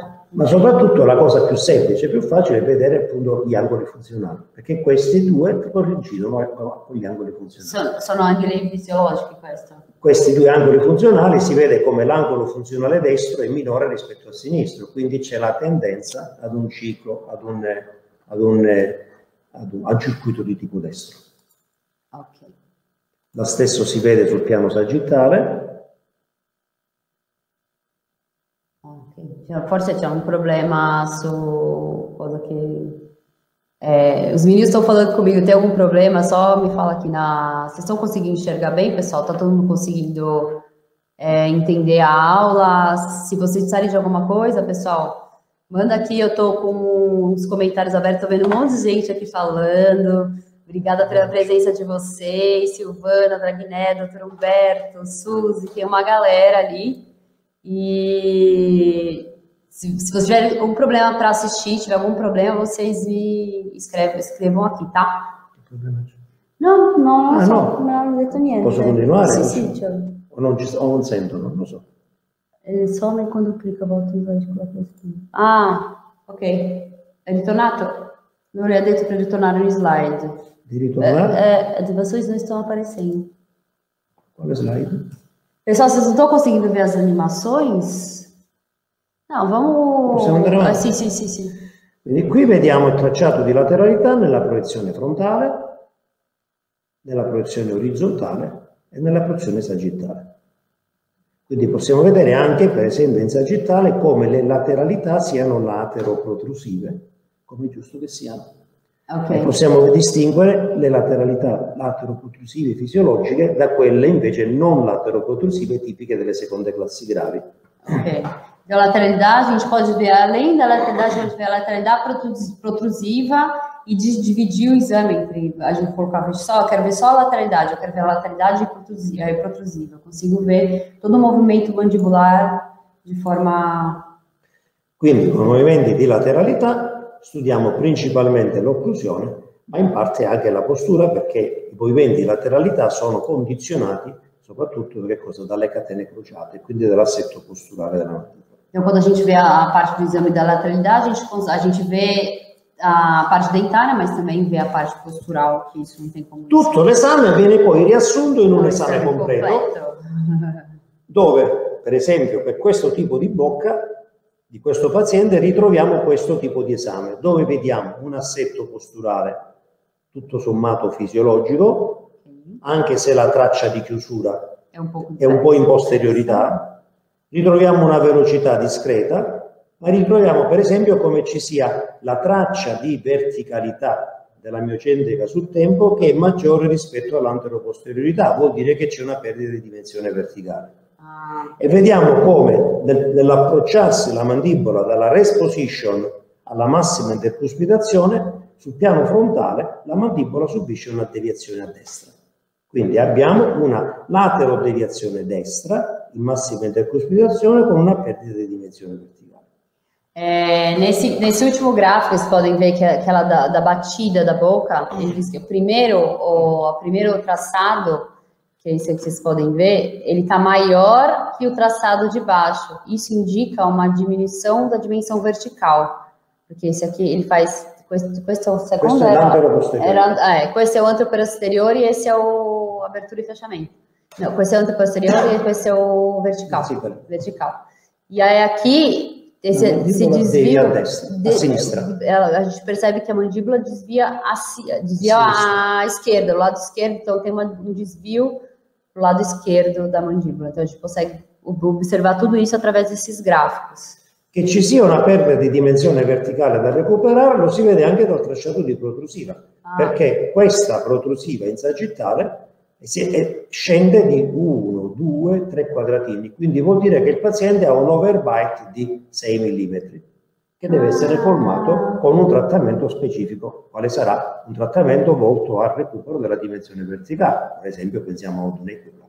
Ok. Ele diz que essa, essa parte da, da, diminuição da, da, da dimensão vertical, a gente consegue enxergar bem aqui, porque a gente consegue controlar 2, 4, 6 milímetros de, de mordida profunda, de mordida profunda, e aí, isso a gente vai tratar com aparelhos para melhorar a mordida profunda. Ele disse aqui o Equiplan, que é um aparelho que ele utilizza bastante. Si vede anche come questo morso profondo condizioni le lateralità, perché su un piano orizzontale i tracciati di lateralità non sono latero-protrusivi, ma sono paralleli al piano frontale. Okay. Lo vediamo sia sul tracciato orizzontale sia sul tracciato sagittale. E questo è fatto in massima interpretazione, no? No, no, no, questo è sempre, queste sono le lateralità esatto. destra e sinistra nella proiezione orizzontale. Ah, la proiezione orizzontale. Quindi... E nella proiezione sagittale. E quindi, quindi frontale, orizzontale, sagittale. Non c'è spinta latero-protrusiva. Quindi il movimento di lateralità è parallelo al piano frontale okay. e questo non è un bene per l'articolazione. Non è un bene per l'articolazione, no. dovrebbe essere. Dovrebbe essere leggermente latero-protrusivo come nelle prime classi. Ah, ok. Voglio dizer que esse traçado, segundo aqui, a gente verifica essa linha reta, não é uma coisa boa, porque quando você faz, aqui é a verificação em horizontal, a gente vendo de cima, deveria ter um desvio para um lado e para o outro, e aqui ele está indo reto. Então, nesse caso aqui, a gente está vendo algum problema di lateralidade. Ma si vede anche come i tracciati dentali sono molto estesi. Quindi, essendo molto estesi, tutto sommato la prognosi è una prognosi non negativa, una prognosi positiva, ma la causa della sua malocclusione è da ricercarsi in qualche problema di tipo extrastomatognatico al quale l'apparato si è adattato. Então, como a parte dentária, a gente pode ver a partir do exame, a parte dentária aqui, está tudo muito mais, mais estável, a gente pode concluir que o problema dele, oclusal, funcional dele, está ligado mais à postura. Então, a gente pode dizer que esse caso é um caso mais favorável para se tratar e é pode ser tratado com um tratamento extra-odontologico, pode ser feito un'osteopatia, una fisioterapia. Esatto. Cioè da ricercare la causa in anamnesi é. ed eventualmente cercare di contrastare. Então, a gente precisa ver a causa, através da anamnesi, da anamnesi ver causa e a gente fazer um tratamento. Cosa significa che non dobbiamo trattarlo? No, significa che dobbiamo iniziare a trattarlo, ma non dobbiamo accontentarci soltanto a trattarlo in bocca. Eh, dobbiamo cercare le cause perché non sono, o probabilmente non sono cause dentali. É, ele diz, então, então, a gente não, não vai tratar, vai só encaminhar o paciente? Não, de, com certeza não, a gente vai tratar, só que a gente sabe que a gente vai ter que utilizar de outras ferramentas, até de outros profissionais no, no, na ajuda desse caso, porque a gente sabe que esse caso não é um caso puramente dentário, é um caso também postural. E questi sono i movimenti che poi vengono. Okay. Questo è un altro esempio, vabbè, la stessa cosa. Quindi due bocche diverse, due esempi di funzione differente. Qui abbiamo un muro anteriore che deve essere trattato, qui non abbiamo assolutamente un muro anteriore che deve essere trattato e quindi il trattamento in questi casi sarà un trattamento di tipo diverso e sicuramente anche questo da cause extrastomatognatiche perché i tracciati dentali sono ampi. Ok, eh, in questo caso anche lei non c'è una, una, perché lo, non, non vediamo, uh, non c'è una morsa profonda? Perché non, non c'è un morso profondo. Eh, Pessoal, olha que diferente, que interessante a diferença entre dois, esses dois traçados, né? a mordida profunda, olha o, o, a, o movimento que a mandíbula faz e na mordida que vai mais, digamos, mais equilibrada, então é bem diferente.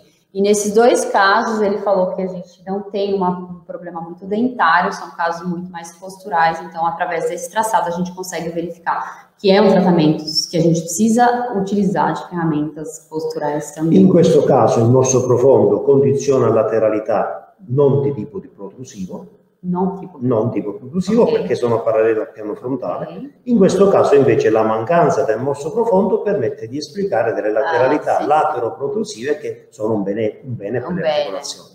Então, aquilo que eu estava tentando explicar no outro slide, aqui você consegue ver bem. Como esse primeiro, ele tem a mordida profunda, ele não consegue fazer uma lateroprotrusão ideal, ela é reta por conta da mordida profunda. Já nesse caso aqui, como ela não tem a mordida profunda, essa seria mais ideal, uma lateroprotrusão, ela fazer uma lateroprotrusão como esse aqui está mais reto. La interpretazione dei tracciati tiene in considerazione del tipo di movimento, e, si, e permette di studiare soprattutto i parametri. Quindi in quei tracciati andiamo a studiare l'ampiezza dei movimenti, la velocità con cui vengono fatte, le angolazioni che hanno queste tracce, se ci sono deviazioni, se gli andamenti sono lineari, continui, discontinui, seghettati e se si sovrappongono i tracciati di andata e di ritorno. Então, é, nesses movimentos a gente consegue ver os limites do, do, do, dos movimentos, a velocidade desse movimento, a angulação do movimento, se tem um desvio ou não, o andamento, o andamento desse movimento é, e a sobreposição do momento da ida e do retorno. Quindi possiamo dire che il movimento di grande apertura mi dà più, più che altro informazioni di tipo posturale, anche se sono condizionate dall'occlusione.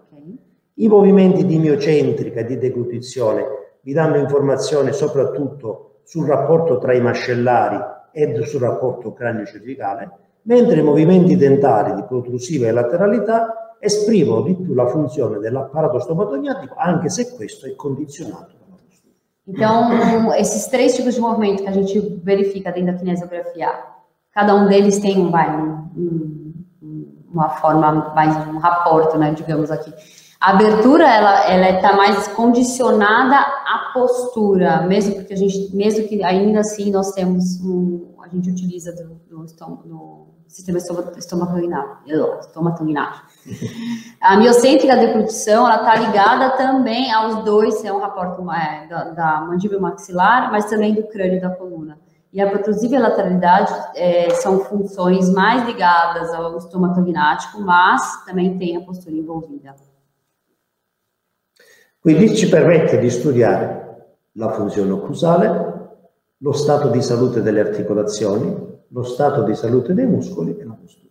Então, isso tudo te permite, te permite estudar a função da oclusão, das articulações, do estado de saúde desses músculos e do, como está essa postura desse paciente. I tracciati devono avvicinarsi e rifarsi a quello che è una norma ideale, cioè questo è lo schema ideale di funzionamento di un apparato stomatognato. Gente, essa é a norma. Desde quando ele começou a mostrar para mim, eu perguntei, mas tem uma norma? Ele falou, tem. Esse aqui é a o cartão, né? A cartela da norma, que seria. Cada traçado tem que chegar mais próximo da norma do ideal. É lógico que a gente não vai não sempre conseguir chegar a isso, mas o ideal é isso. Quindi, quando noi prendiamo un tracciato, non facciamo altro che confrontare e vedere quanto si allontana dalla norma ideale. E il nostro obiettivo deve essere col trattamento cercare di farlo avvicinare il più possibile a quella che è la norma ideale.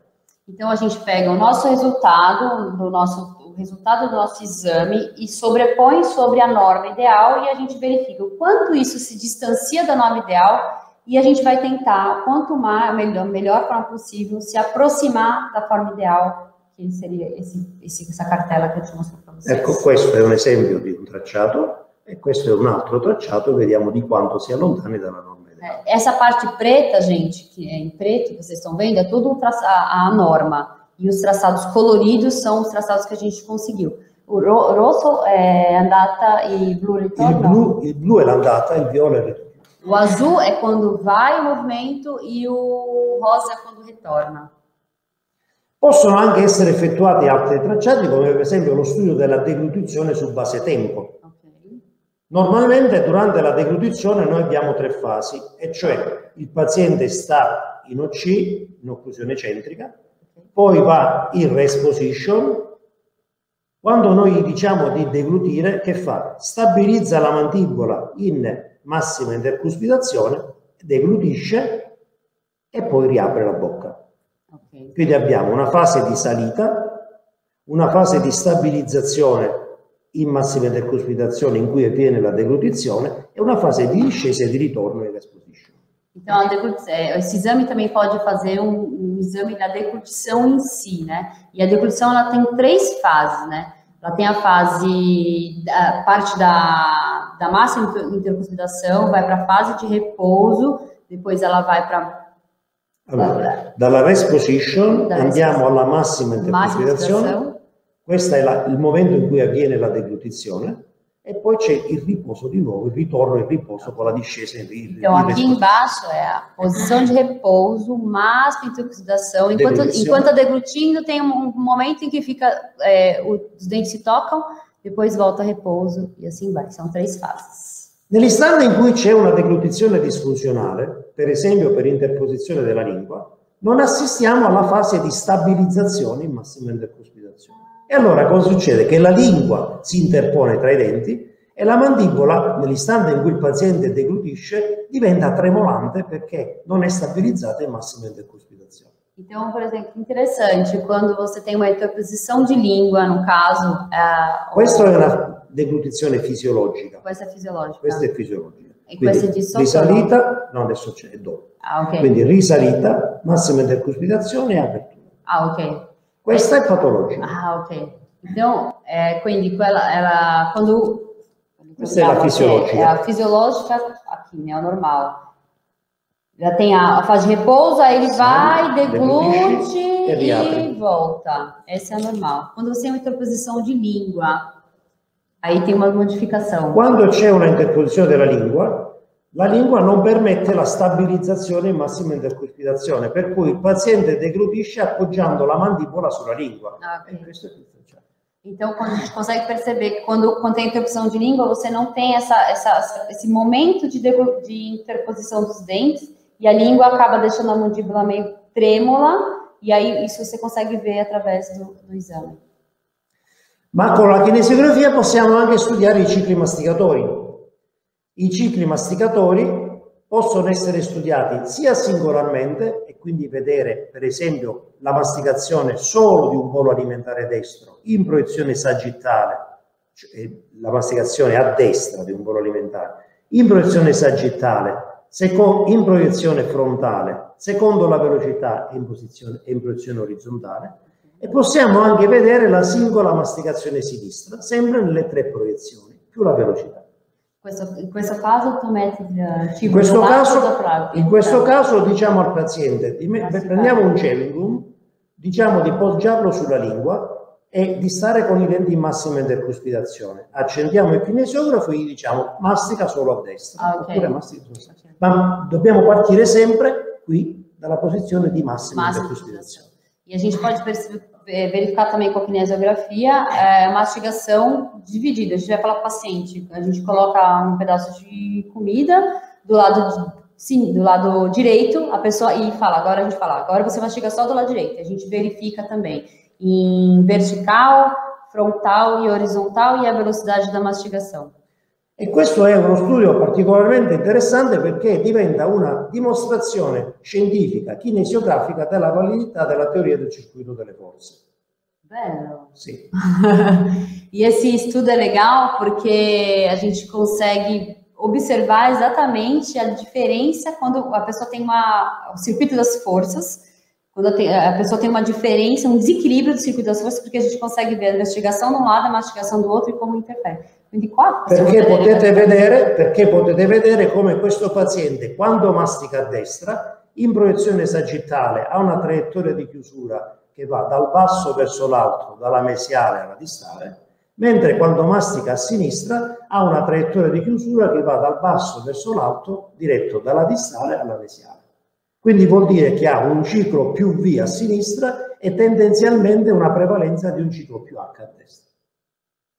Ok, e aí a gente consegue perceber nos dois traçados, do lado da, da direita, em que ele mastiga e ele começa de baixo, da direita Dal basso verso l'alto, de baixo para cima, dalla mesiale alla distale, quindi circuito più H. Ok, então é, da, de baixo para cima, da, da mesial para distal. Il circuito H è... Circuito H significa temporale, masticazione prevalente contemporale con il massetere eh, eh, profondo che è un circuito H che quello che d'origine ha un piano occlusale di tipo piatto e quindi una malocclusione di terza classe. É più, va mais ligado à classe 3, che è un plano occlusale mais plano. Mentre da questo lato la traiettoria di chiusura è più obliqua dal basso verso l'alto, dalla distale alla mesiale. E aí do lado de esquerdo é o contrário, é do, de baixo para cima, da distal para mesial. Vuol dire che i muscoli più interessati nell'esecuzione di questo ciclo masticatorio sono l'opteregoide interno e il massetere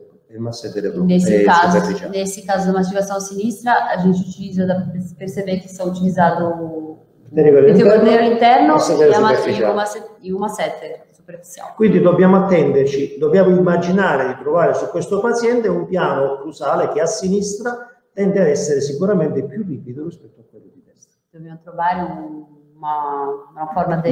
Quando mettiamo la forcella di Fox, Vediamo che il piano occlusale a sinistra è tendenzialmente di seconda, mentre a destra tende ah. più alla terza massa. Então, quando a gente for fazer, ele monta muito com a forqueta de...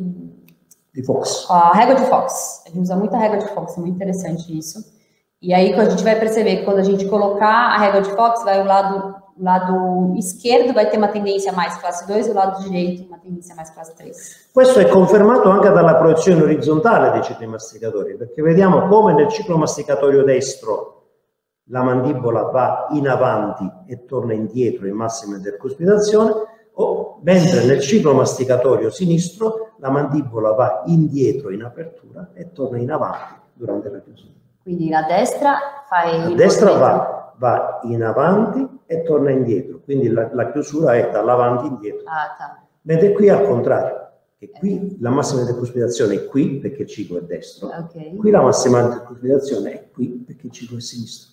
Olha Quindi só, diverso. Uma, a mesma boca mastigando de lados diferentes, a mandíbula tem uma, uma, uma movimentação diferente. O lado da destra começa do lado da, da, da destra para sinistra, do dietro. Qui l'orientamento, quando apri vai più in avanti e il traiettoria di chiusura è dalla mesiale alla distale, tá. in questa orientamento. Então, nessa primeira, ela vai mais à frente quando volta da mesial para distal. E do outro lado, ao contrário. Ao contrário.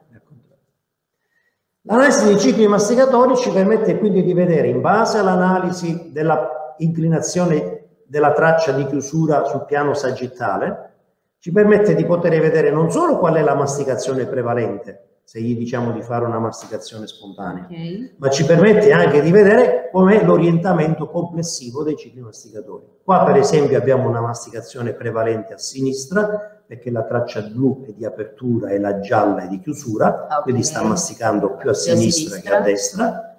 Qui per esempio abbiamo un esempio di una masticazione bilaterale perché la traccia gialla la ritroviamo sia da un lato che dall'altro ah. lato Qui abbiamo un altro esempio di masticazione, anche se ha una prevalenza a destra, perché la traccia gialla la vediamo a destra, e questo è un tipico esempio di masticazione a cerniera, di centrica. Apertura e chiusura senza nessun movimento di lateralità. Olha que legal, pessoal, a gente consegue verificar através desse exame a mastigação do paciente. Quando normalmente a gente vai lá, a gente fala assim, dá alguma coisa, vai, mastiga para ver como é que você mastiga. Aqui você tem no traçado exatamente de como esse paciente mastiga. Se ele mastiga mais à direita, se mastiga mais à esquerda, se ele tem uma, uma mastigação sem lateralidade, que esse último que ele mostrou agora é aquela mastigação em charneira, que a pessoa não faz lateralidade, abre, fecha, abre, fecha, abre, fecha. Cosa dobbiamo aspettarci da una mastigazione incentrica? Sicuramente una seconda classe, magari con un muro anteriore, con un palato chiuso. E la dimostrazione qual è? La traccia sagittale del movimento di chiusura è fortemente obliqua dal basso verso l'alto, da dietro in avanti massima espressione di un circuito più vivo. É, diz que é, o que a gente pode esperar dessa mastigação de charneira, normalmente é uma, uma classe 2, com palato muito ogival, muito fechado, é, sem muita força, sem muita facilidade de fazer movimentos laterais, de acordo com, com o que a gente pode encontrar nesse, nesses, nesses casos. La kinesiografia, oltre alla funzione individuale, studia anche la funzione cranica, quindi il grado di mobilità della sincondrosi sfenobasilare, studia anche la postura individuale e studia anche le connessioni tra l'apparato stomatognatrico e il sistema corporeo, ma che chiaramente non prendiamo in considerazione perché non va a essere bene giornata. então, a cinesiografia ele pode estudar a função da, da mandíbula, a função da mandíbula em si, pode estudar também a função do, das sincondroses esfenobrasilares, e estuda também a, a, postura em si e também pode estudar a conexão do uso do aparelho, que a gente, do aparelho saconático com o sistema corpóreo, que ele diz que não tem como a gente falar que vai ser quindi muita coisa. Quindi praticamente studia tutte le componenti di questo schema. Então estuda todos os componentes desse schema che sta mostrando para você. Ora, come mi può essere di aiuto, oltre a queste informazioni teoriche? Okay. Tudo isso que ele passou, por que que pode ajudar a gente no, dia a dia da nossa clínica? Mi può essere di aiuto a inizio di terapia? Inizio da terapia. Perché mi aiuta nella diagnosi, mi aiuta nella prognosi, mi permette di fare un trattamento personalizzato. Okay. Ajuda antes da terapia, diagnóstico, trattamento, prognostico. Mi aiuta durante la terapia, perché posso vedere come progredisce la funzione durante la terapia, cioè posso vedere facendo più tracciati e sovrapponendoli se la funzione sta migliorando e se nel caso stesse peggiorando mi, mi spinge a chiedermi dove ho sbagliato. Okay. Então, durante a terapia também é interessante porque você pode sobrepor os traçados e ver o, o que estava o inicial, é aquele momento e ver se você está melhorando, chegando mais próximo da, de uma, de uma, uma, do fisiológico, ou se você está piorando e ver aonde que você errou. Mi può essere utile alla fine della terapia per dimostrare la bontà del mio trattamento, ma anche per prevedere la stabilità dei risultati nel tempo e quindi decidere se per caso anche se non si dovrebbe fare, devo per esempio ricorrere a dover fare degli sprintaggi o delle contenzioni che okay. non vorrei fare, ma okay. che qualche volta siamo costretti tutti a fare. Okay. E no final, ao final da terapia, para verificar se a sua terapia foi, seu tratamento foi bem feito, e para previ prevenir se você vai ter uma recidiva ou não e verificar se naquele caso você tem que usar uma contenção que ele não gosta de usar, mas em alguns casos fazer o que temos que usar a contenção. Ma se un paziente mi ritorna, un paziente trattato mi ritorna a distanza di tempo, per esempio dopo due o tre anni, facendo un altro esame e sovrapponendolo a quelli, a quelli che ho in archivio, mi permette di vedere se i risultati funzionali che ho ottenuto col mio precedente trattamento sono stabili o meno. Também conseguimos verificar, após muito tempo, se esse tratamento foi estável. A paciente foi lá embora, voltou de dois anos, eu consigo fazer um novo exame e ver se ele está estável ainda não. E se io ho in archivio anche tracciati kinesiografici passati del paziente, se il paziente ha avuto un evento traumatico, mi permette di vedere qual è stato l'impatto, qual è stata l'importanza, che tipo di modifica ha subito la funzione in seguito a quell'evento traumatico. Então, olha que interessante também. Se você é um paciente que você já fez um exame dele, você tem lá o exame dele guardado, esse paciente sofre algum tipo de trauma, a gente consegue verificar qual a quantidade de dano que esse trauma causou nesse paziente. Ora, sappiamo bene dal professor Mariano Lindbergh come un circuito delle forze unilaterale può determinare delle asimmetrie cranio-facciali, delle asimmetrie scheletriche e posturali e delle asimmetrie dell'appoggio podalico ma noi non sappiamo o non abbiamo grossi mezzi, se non mezzi di tipo strumentale o se non il Messerman, per capire se queste problematiche sono di tipo discendente o di tipo ascendente o di tipo misto. Então, de acordo com o Lindenberg, né, que ele aprendeu esses tipos de força, que você, os tipos força você pode verificar tanto a parte crânio-facial, como que interfere, como na postura e nos, apo nos apoios, apoios podálicos no apoio do pé.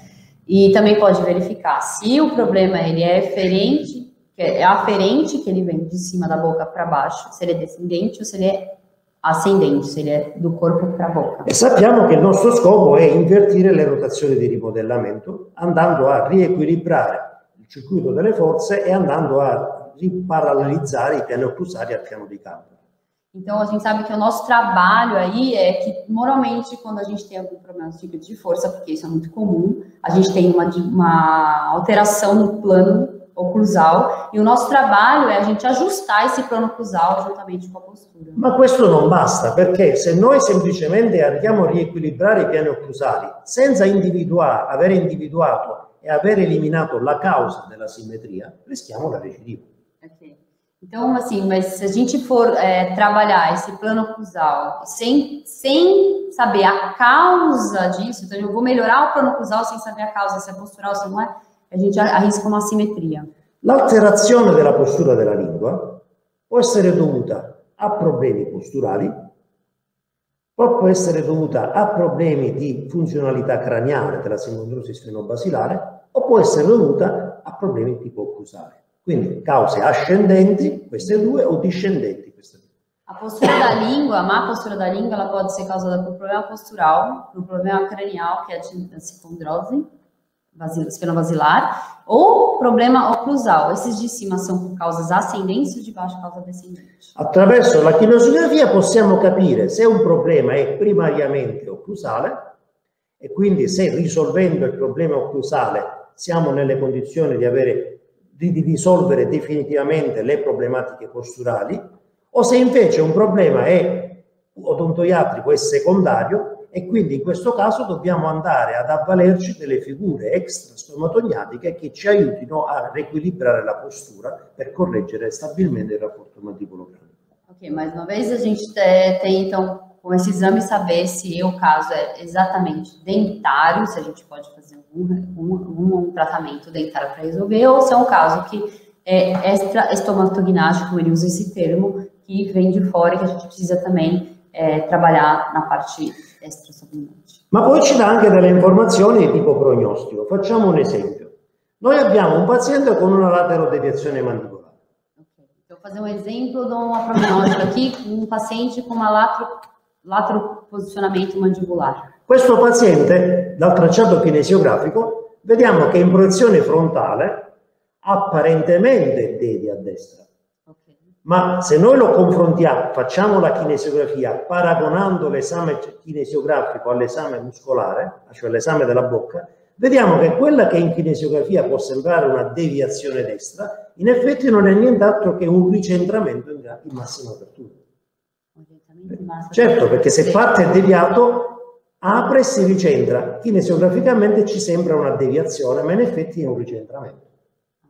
Ele diz, é, ele diz que a gente pode verificar um, um desvio na, na kinesiografia mas que nesse desvio, na verdade, quando a gente confronta com o exame clínico, ele, na verdade, é um, uma, uma, uma centralização, quando, quando a mandíbula desvia, ela procura recentralizar a linha média. Cosa significa? Significa che quando il paziente esce fuori dal vincolo dentale, sta e vuole stare centrato. Ah, okay. Quindi la causa qui è occlusale, okay. non è posturale. Então, assim, quando você percebe que o paciente, quando ele abre, ele, ele, ele pro, pro, é, procura estabilizar e normalizar essa linha média, a, a, gente pode dizer que é uma causa oclusal, que nesse caso aqui, essa, esse paciente tem uma mordida cruzada no lado.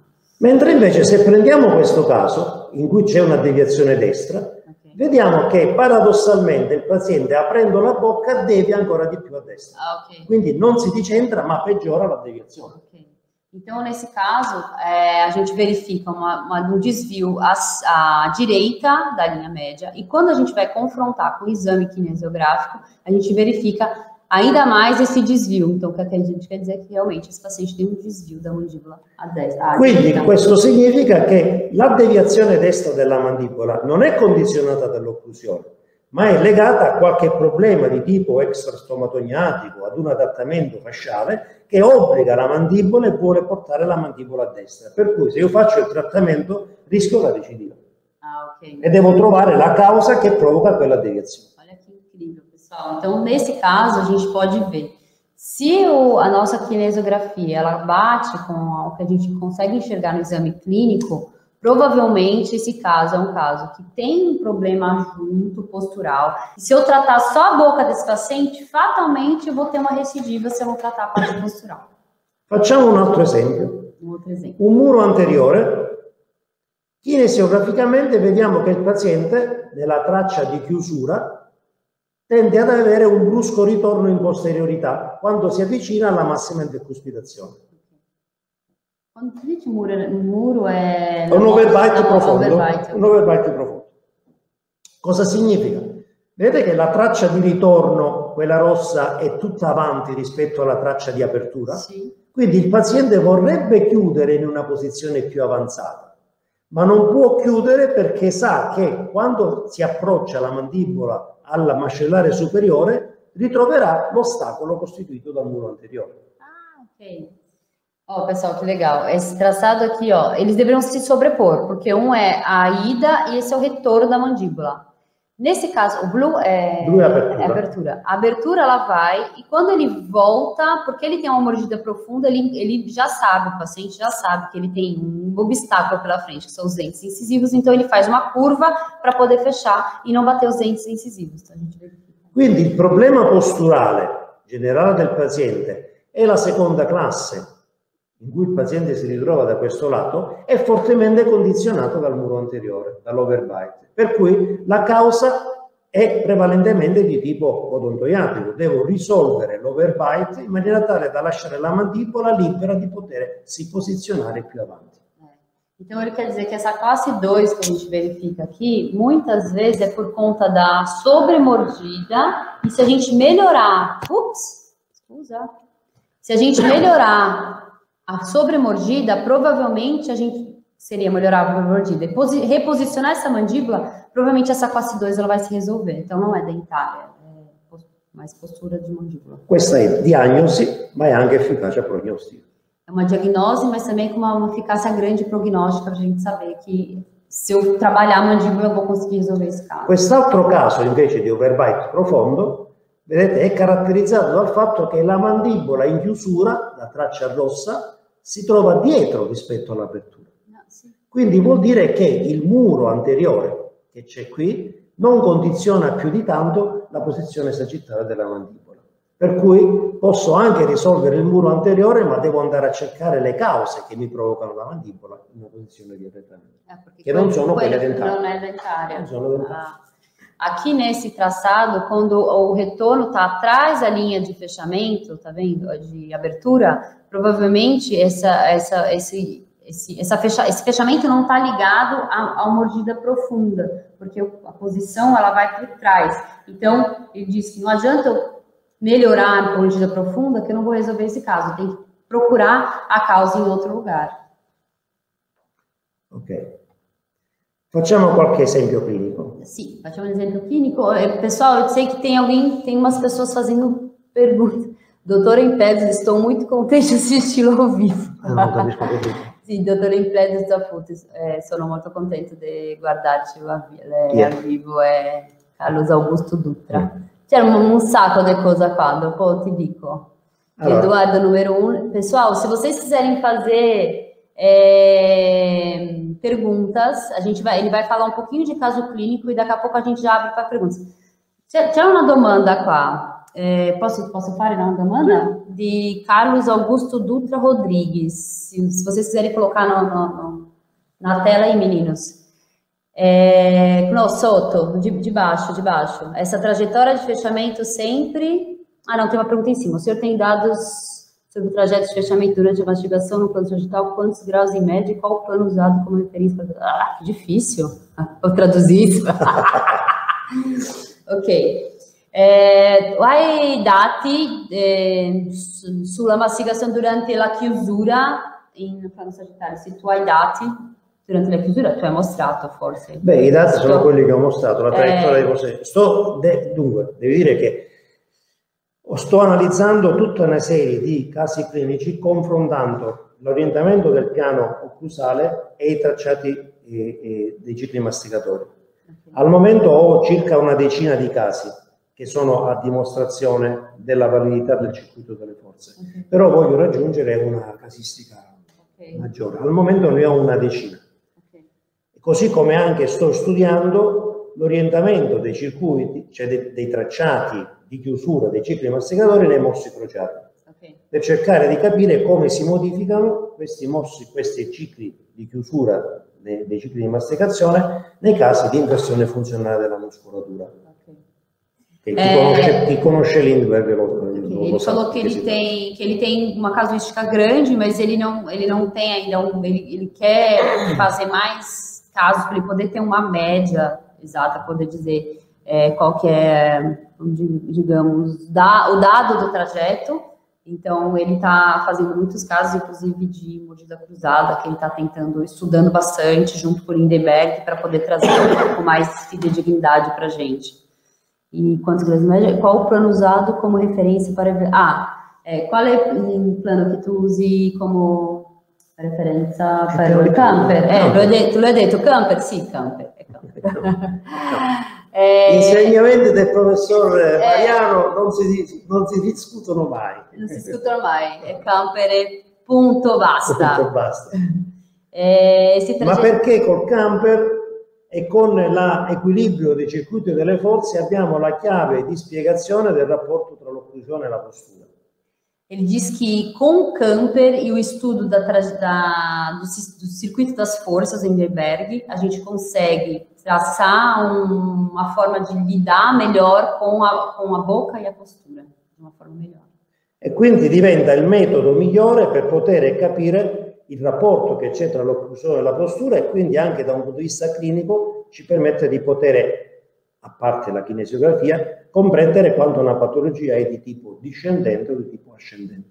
E aí, dessa forma, utilizando o camper, o circuito das forças, sem a kinesiografia, sem usar a kinesiografia, é a melhor forma de descobrir é, se uma maloclusão ela é descendente ou ascendente, ou se ela começa na ela só começa na postura.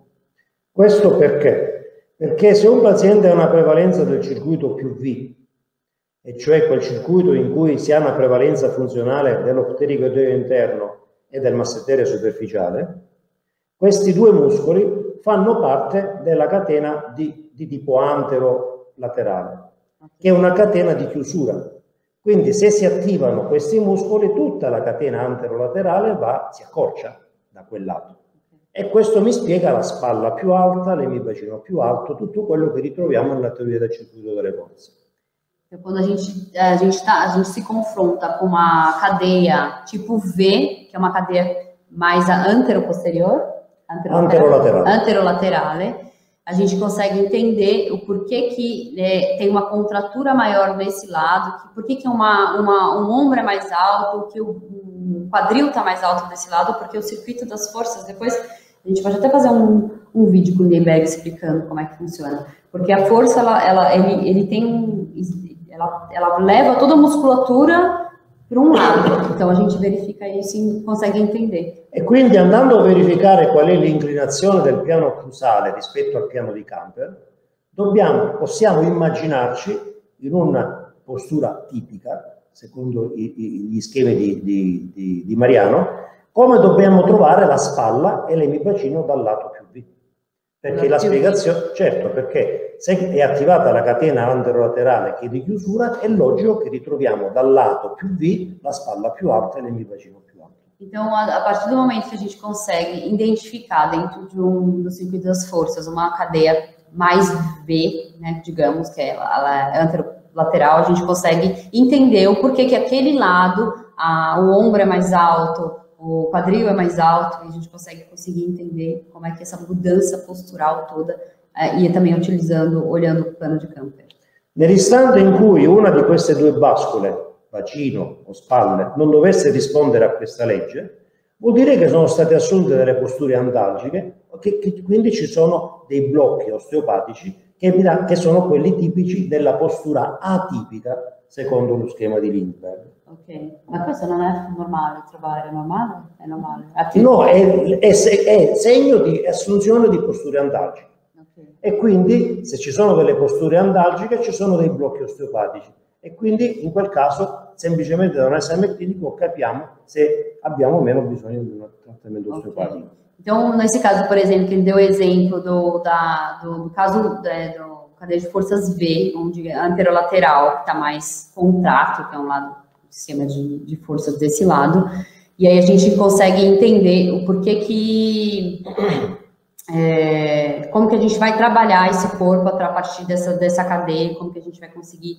É, e aí a gente. Ah, ele falou assim que, que quando a gente também acha dentro dessa cadeia uma mudança, por exemplo, a cadeia, a, spa, a, o ombro já está mais alto e o quadril está mais alto, só que desse lado não está, então provavelmente tem algum bloqueio osteopático que deve ser tratado antes, porque é uma cadeia atípica que não seria o normal a gente encontrar.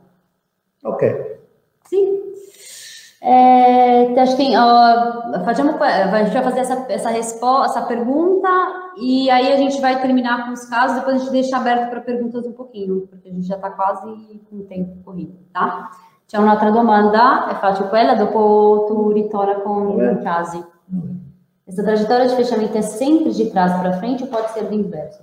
Questa traiettoria di chiusura sempre de dietro davanti o si può essere il contrario? Dipende dai muscoli che vengono utilizzati per masticare da quel lato. Ok, depende do músculo que é utilizado para mastigar daquele lado. Então, pode mudar, pode mudar da, da frente para trás, de trás para frente, depende do músculo. Non è nient'altro che l'applicazione clinica della teoria del circuito di Lindbergh.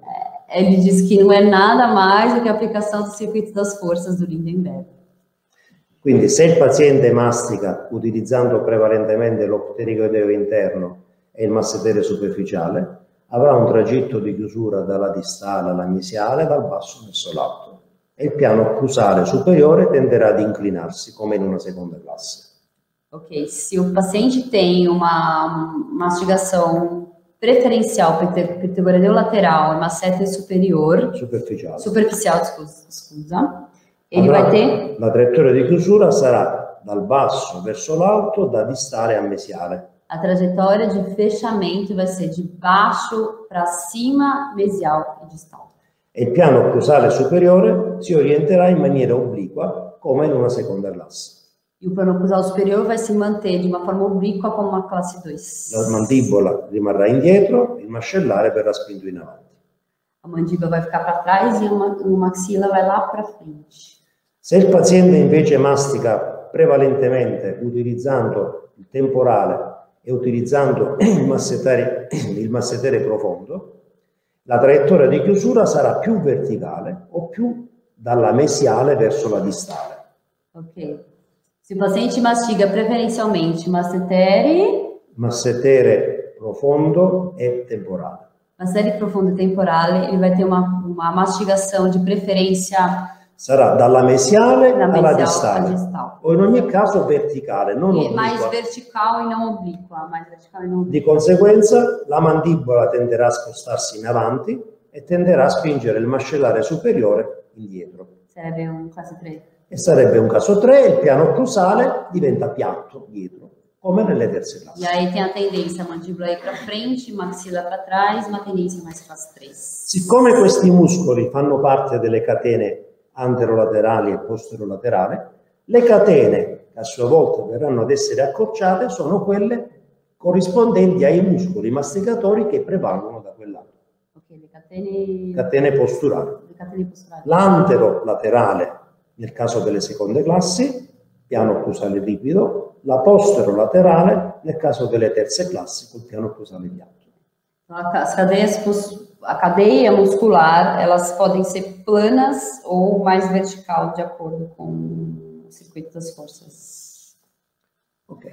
Então, vai fazer um pouco de caso clínico. Allora, una bella bocca dovrebbe corrispondere ad una buona funzione.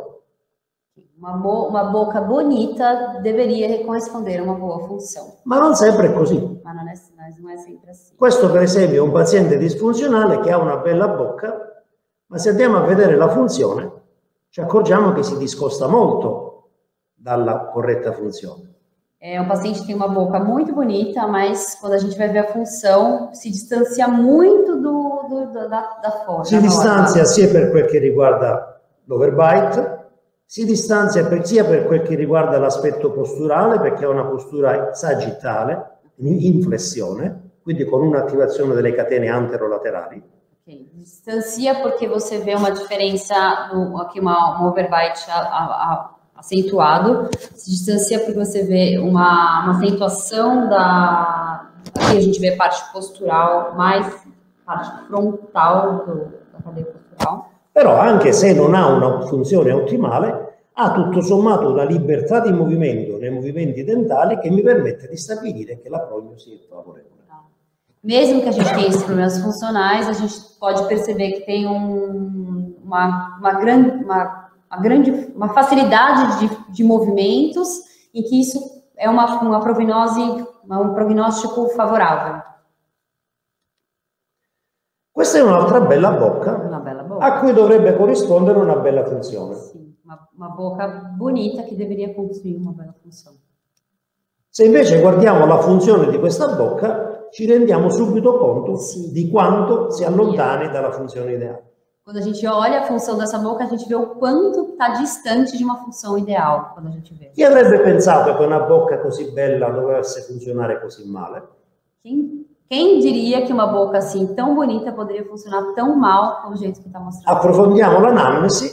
Questo paziente aveva fatto ortodonzia, quindi gli avevano fatto una bella bocca seguendo canoni estetici.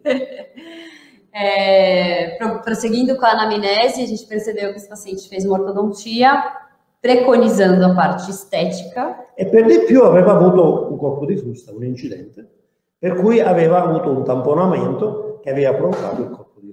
Ele sofreu um acidente em que ele teve um golpe na cervical muito forte e também isso alguns problemas. Quindi è naturale che anche se conserva una bella bocca, qui bisogna fare un trattamento, soprattutto un trattamento con, eh, in cui la prognosi sarà una prognosi un po' più complicata rispetto a quella del caso precedente, perché i tracciati, soprattutto quelli dentali, vedete, sono molto più ridotti in estensione.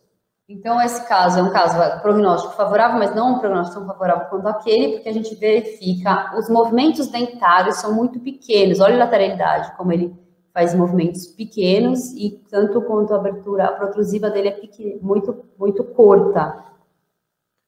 Questa è un'altra bella bocca che dovrebbe avere una bella funzione. Sim, um outro caso de uma boa boca com uma função não tão boa. Se voi guardate la traccia blu, è la prima kinesiografia di questo paziente quando è venuto nello studio, che denota chiaramente una funzione molto ridotta. Purtroppo non ho la- soltanto la, la, la kinesiografia solo della traccia. Tá. Se vocês olharem o traçado azul, é o primeiro traçado que ele vê, que ele fez quando o paciente antes de fazer o tratamento com ele no, no consultório. Cosa aveva avuto questa paziente? In seguito alla estrazione pregressa del 46, aveva subito una mesoversione del 47 che aveva creato un precontatto distraente sull'articolazione per cui era diventata una disfunzionale e l'articolazione era andata in blocco a destra. Quindi questo è un caso di locking dell'ATM di destra. O que aconteceu com essa paciente? Ela, ela perdeu o 46, causando uma mesialização do 47, uma extrusão do 27, causando um contato prematuro, e isso causou um bloqueio da TM direita, no caso. Então, E quello che vedete in rosso è nient'altro che il quadro funzionale dopo la ricattura del disco e dopo il trattamento gnatologico. E o que vocês veem em vermelho é o quadro funcional depois do tratamento que ele fez e do, do, recuper, do recuperamento do disco, que ela tinha um bloqueio. Então, percebe a diferença da quantidade e do, da, da, da- como posso dizer, da distância, da quantidade de movimento que tinha azul e agora o movimento que essa pessoa consegue fazer com a mandíbula através do traçado do corpo. Che chiaramente dimostra in maniera oggettiva come ci sia stata una ricattura del disco con una riapertura di nuovo a 4 cm, quando in caso di locking che si trovava solo 2 cm di apertura e con deviazione a destra. Olha a diferença. Ela, antes, no bloco, ela, ela tinha uma, uma abertura de 2 milímetros. Depois que ele conseguiu fazer o tratamento, ela conseguiu abrir em 4 milímetros já. A gente consegue mensurar. Olha que legal, gente. Com esse exame, você consegue mensurar. Não é uma coisa que a gente vai a olho, a gente faz vídeo, faz é diferente. É um exame que você consegue mensurar. Quindi questo è un quadro che inizialmente aveva una grave compromissione funzionale, ma che poi è stata recuperata grazie al trattamento gnatologico. Siamo lontani ancora da quella che poteva essere la norma ideale, ma sicuramente dimostriamo come oggettivamente, funzionalmente, è molto più vicino alla norma ideale rispetto a quando non lo fosse in fase di locking. É, ele diz que a gente observa o inicial e o final, é, como, como tem uma diferença, lógico a gente está um pouco distante ainda do que seria a norma, o ideal na norma, mas do que a gente começou, que a gente conseguiu através do tratamento ginatológico, o tratamento que ele faz, é muito grande o resultado. Questo è un altro caso di una paziente di una seconda classe con una laterodeviazione mandibolare e un morso crociato posteriore destro. É uma classe 2 com a des- desvio da mandíbula a, A destra. a destra, direita e uma mordida cruzada. Se noi facciamo l'esame kinesiografico, ci accorgiamo che la funzione occlusale è buona, ma abbiamo delle funzioni posturali che non sono adeguate perché abbiamo un rapporto cranio-cervicale patologico, sia con una C2 che con una C1 in patologia, ma addirittura anche una traccia di grande apertura ridotta con deviazione a destra, la quale deviazione a destra peggiora la deviazione in apertura. Ah, Quindi è segno di una presenza di problematiche extrastomatognáticas che condizionano la postura mandibolare. Okay. Mesmo que a gente vê uma protrusiva boa dessa paciente, na miocêntrica da deglutição, a gente consegue ver uma alteração muito importante, que lembra que a miocêntrica, ele falou, era da C2 e a deglutição era C1, então a gente pode concluir que esse caso também é um caso que tem uma, uma possibilidade postural muito grande para de resolução. Quindi le problematiche sono extrastomatognáticas. Approfondiamo l'anamnesi, viene fuori che questa paziente aveva delle allergie alimentari e aveva un appoggio plantare errato fin dall'età infantile. Então, é, continuando a anamnese, verificou que essa paciente também tem uma, uma alergia alimentar, uma intolerância, e também de, na, na, primeira infância ela tinha um problema de, de, de pisada, de pisada Vedete come si allontana dalla norma ideale? Sì. È stata qui, è quindi una situazione in cui la prognosi è favorevole, perché i tracciati sono ampi, anche se c'è una compromissione funzionale. Se, se tracciati ampi, la, prognosi è meglio. Se, i tracciati dentali sono molto ristretti, la, più sono ristretti, più la prognosi è severa. Okay. Então, se os traçados são grandes, assim, mais amplos, é, a prognose é melhor. Quanto mais estreitos, a prognose é pior. Então, nesse caso, o, tra os traçados são amplos, mas vezes assim a gente verifica problemas di funzione. In questo caso non ha senso fare un trattamento ortodontico se prima non si rimuovono le cause che provocano la laterodeviazione mandibolare, perché altrimenti la postura non si correggerà mai. Okay. Então não tem por que fazer um tratamento ortodôntico se você não mover a causa, que a gente verificou aí que tem uma causa postural. Se você não conseguir tratar essa causa, não adianta nada fazer um tratamento ortodôntico. Per cui è stata sottoposta ad una dieta e al posizionamento di plantari propriocettivi. Então, ela foi, foi proposta uma dieta, uma dieta de seis meses, tirando esses alimentos e colocar um, uma palmilha, digamos, proprioceptiva. è trattata ortodonticamente mediante ortodonzia fissa. Questa è una tecnica del MIU secondo la tecnica di, della filosofia di Sadao Sato. Una volta trattata, vediamo che questo era il quadro funzionale iniziale e questo in blu è il quadro funzionale a fine terapia. Então, o primeiro em vermelho é o, caso, o quadro funcional inicial e em azul è o final depois do tratamento. Vedete come la miocentrica e come la deglutizione si siano resi fisiologici, sì. secondo la, lo schema della norma ideale. Vedete come il tracciato di grande apertura si sia avvicinato alla norma ideale. Vedete come non devi più in lateralità sì. durante l'apertura, nonostante sia stata centrata la mandibola. Vedete come la protrusiva sia molto più vicina alla norma ideale rispetto a quando non lo fosse prima e anche nella lateralità. A gente observa, pessoal, que vai chegando muito mais à norma ideal. A, a cêntrica dela está na norma ideal. Aqui, ela não desvia mais para a lateral na abertura, ó. ela vai sem quase desvio. Muito bem. Ok.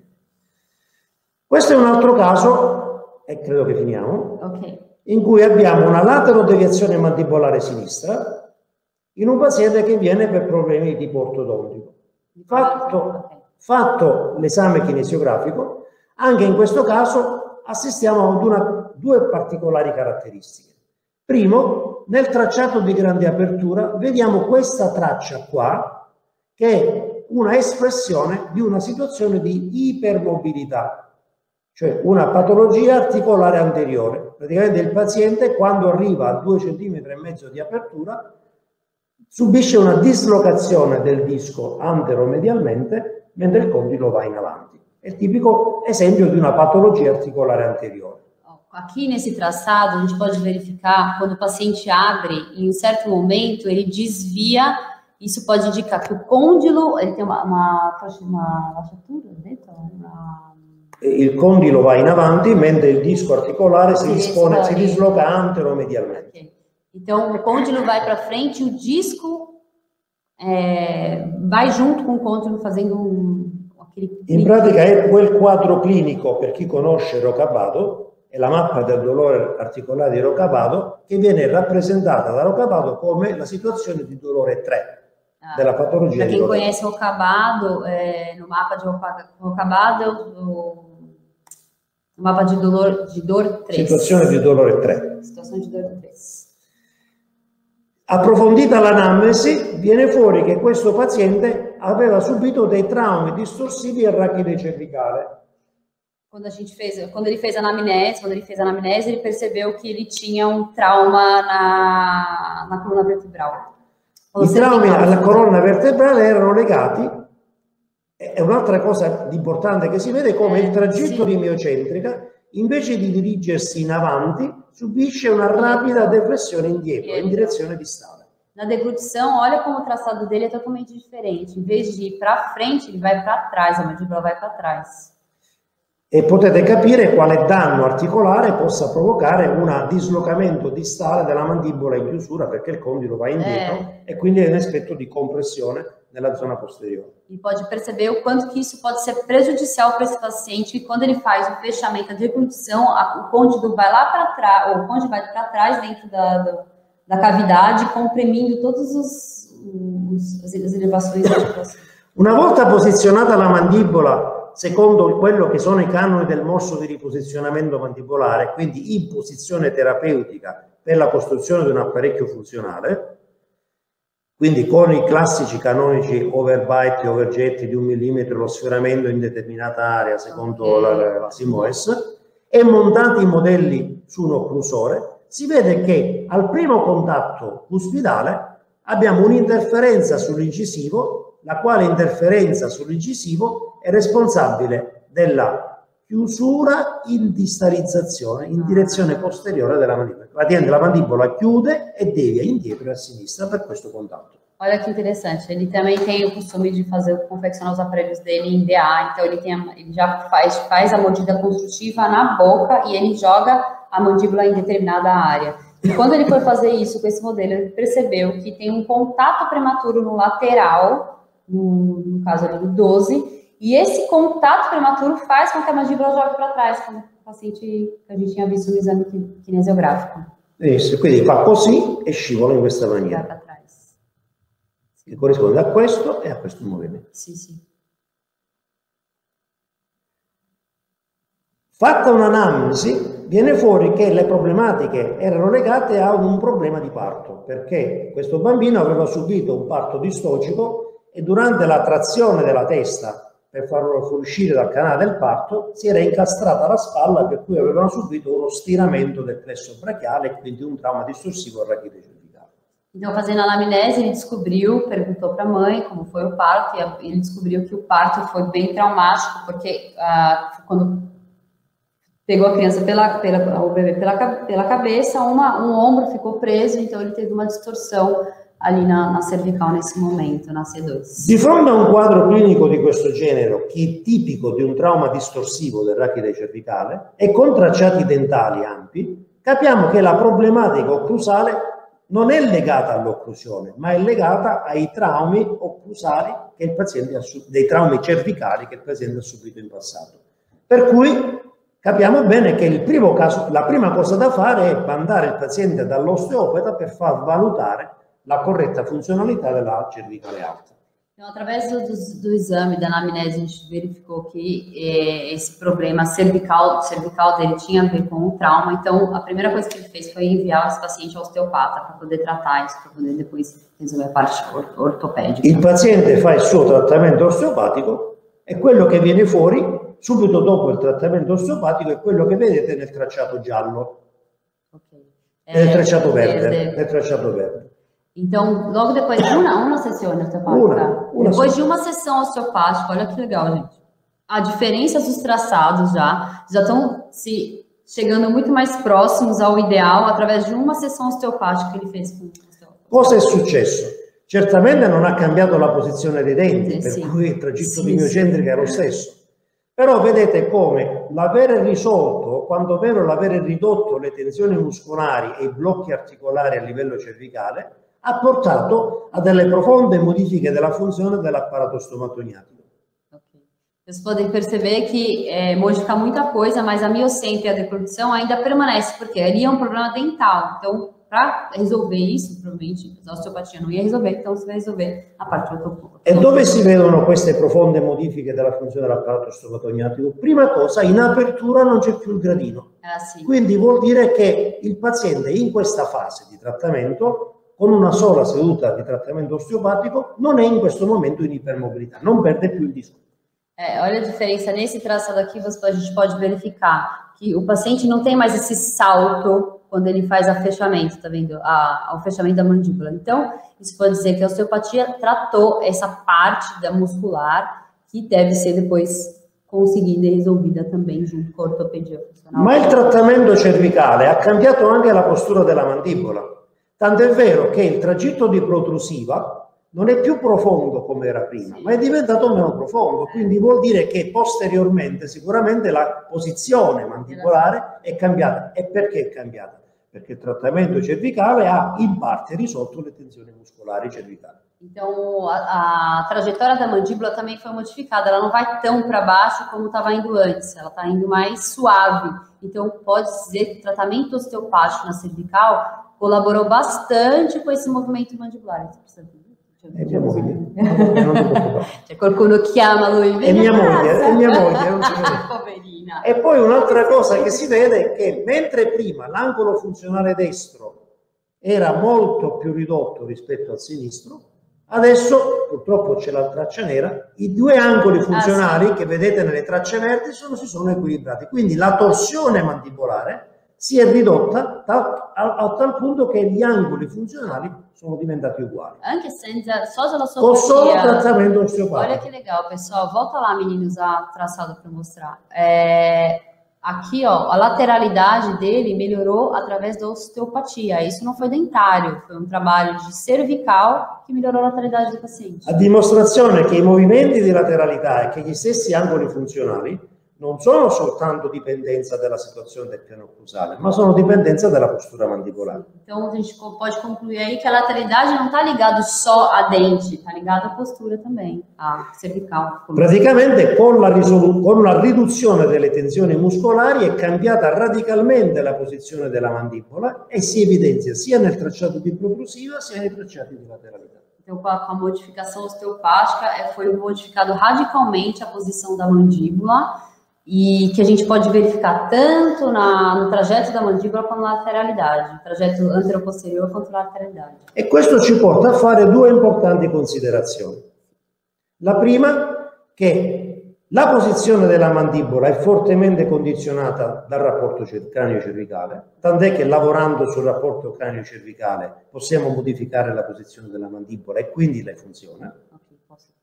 Ok. Então, a gente chega em duas conclusões. A primeira é que é, a mandíbula, o movimento da mandíbula está fortemente ligado à, à nossa coluna vertebral, principalmente a cervical, e o tratamento de uma coluna cervical pode modificar a posição e o movimento dessa mandíbula. E secondo che attraverso una valutazione kinesiografica siamo nelle condizioni di valutare se l'osteopata è bravo o se l'osteopata è in proglione. E aí, através da kinesiografia, a gente pode também verificar se o osteopata que a gente está indicando é uma pessoa muito boa, é um bom profissional, ou se ele realmente está fazendo um trabalho. Se l'orto- se l'osteopata non va bene cambiamo osteopata. Aí muda de osteopata. Perché poi la colpa, se il caso non si risolve, è nostra, non è dell'osteopata. E depois a culpa, se não resolve o caso, é nossa e não é do osteopata.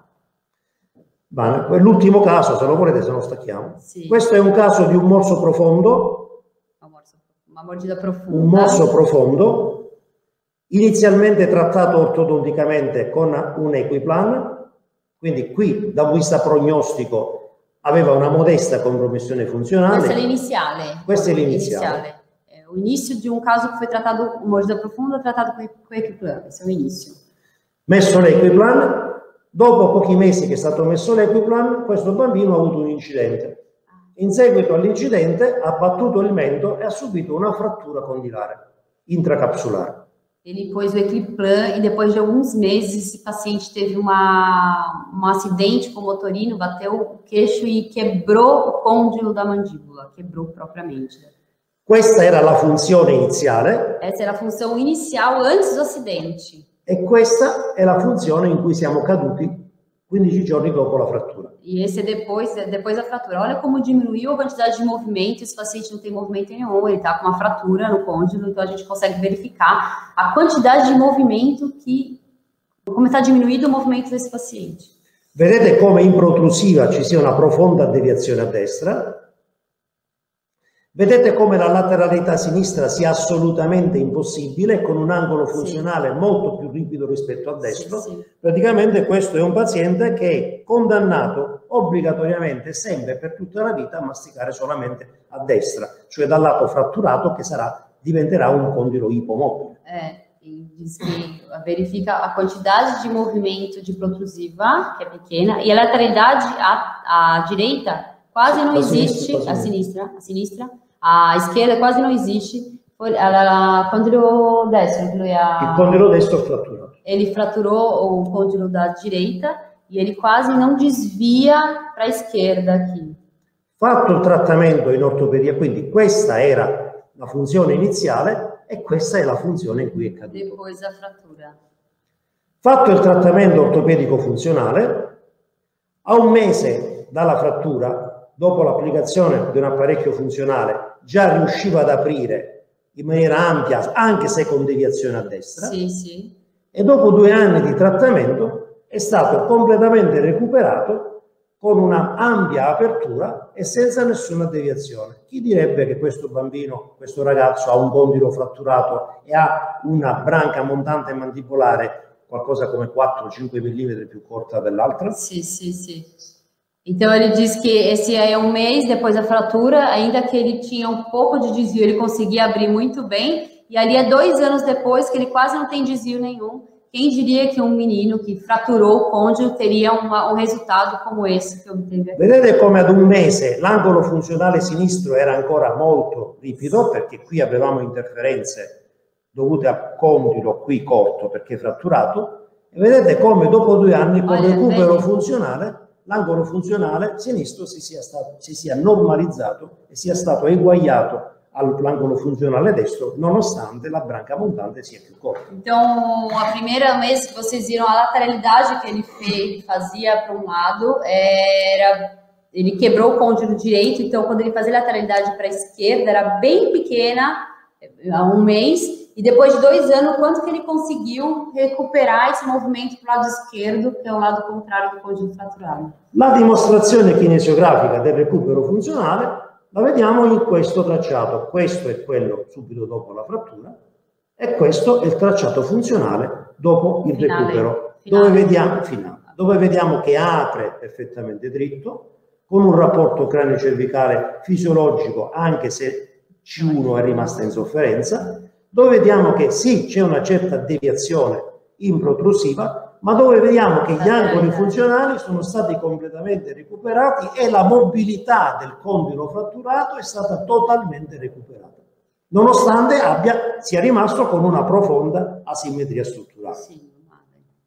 É, esse é o, o kinesografia final, depois de dois anos de tratamento. É, e aqui ele é, mostra que a miocêntrica está bem é, fisiológica, ainda que na deglutição ele tem um pequena, uma pequena alteração, a protrusiva também está uma pequena desviação. Uma pequena desviação, desvio, mas por um mas caso de uma fratura, mas a lateralidade, olha como ele conseguiu resolver, melhorar a lateralidade no, no caso di una frattura desse condulo direito aqui. È stato anzi lasciato, se voi vedete, con una lieve diminuzione dell'angolo funzionale sinistro rispetto al destro.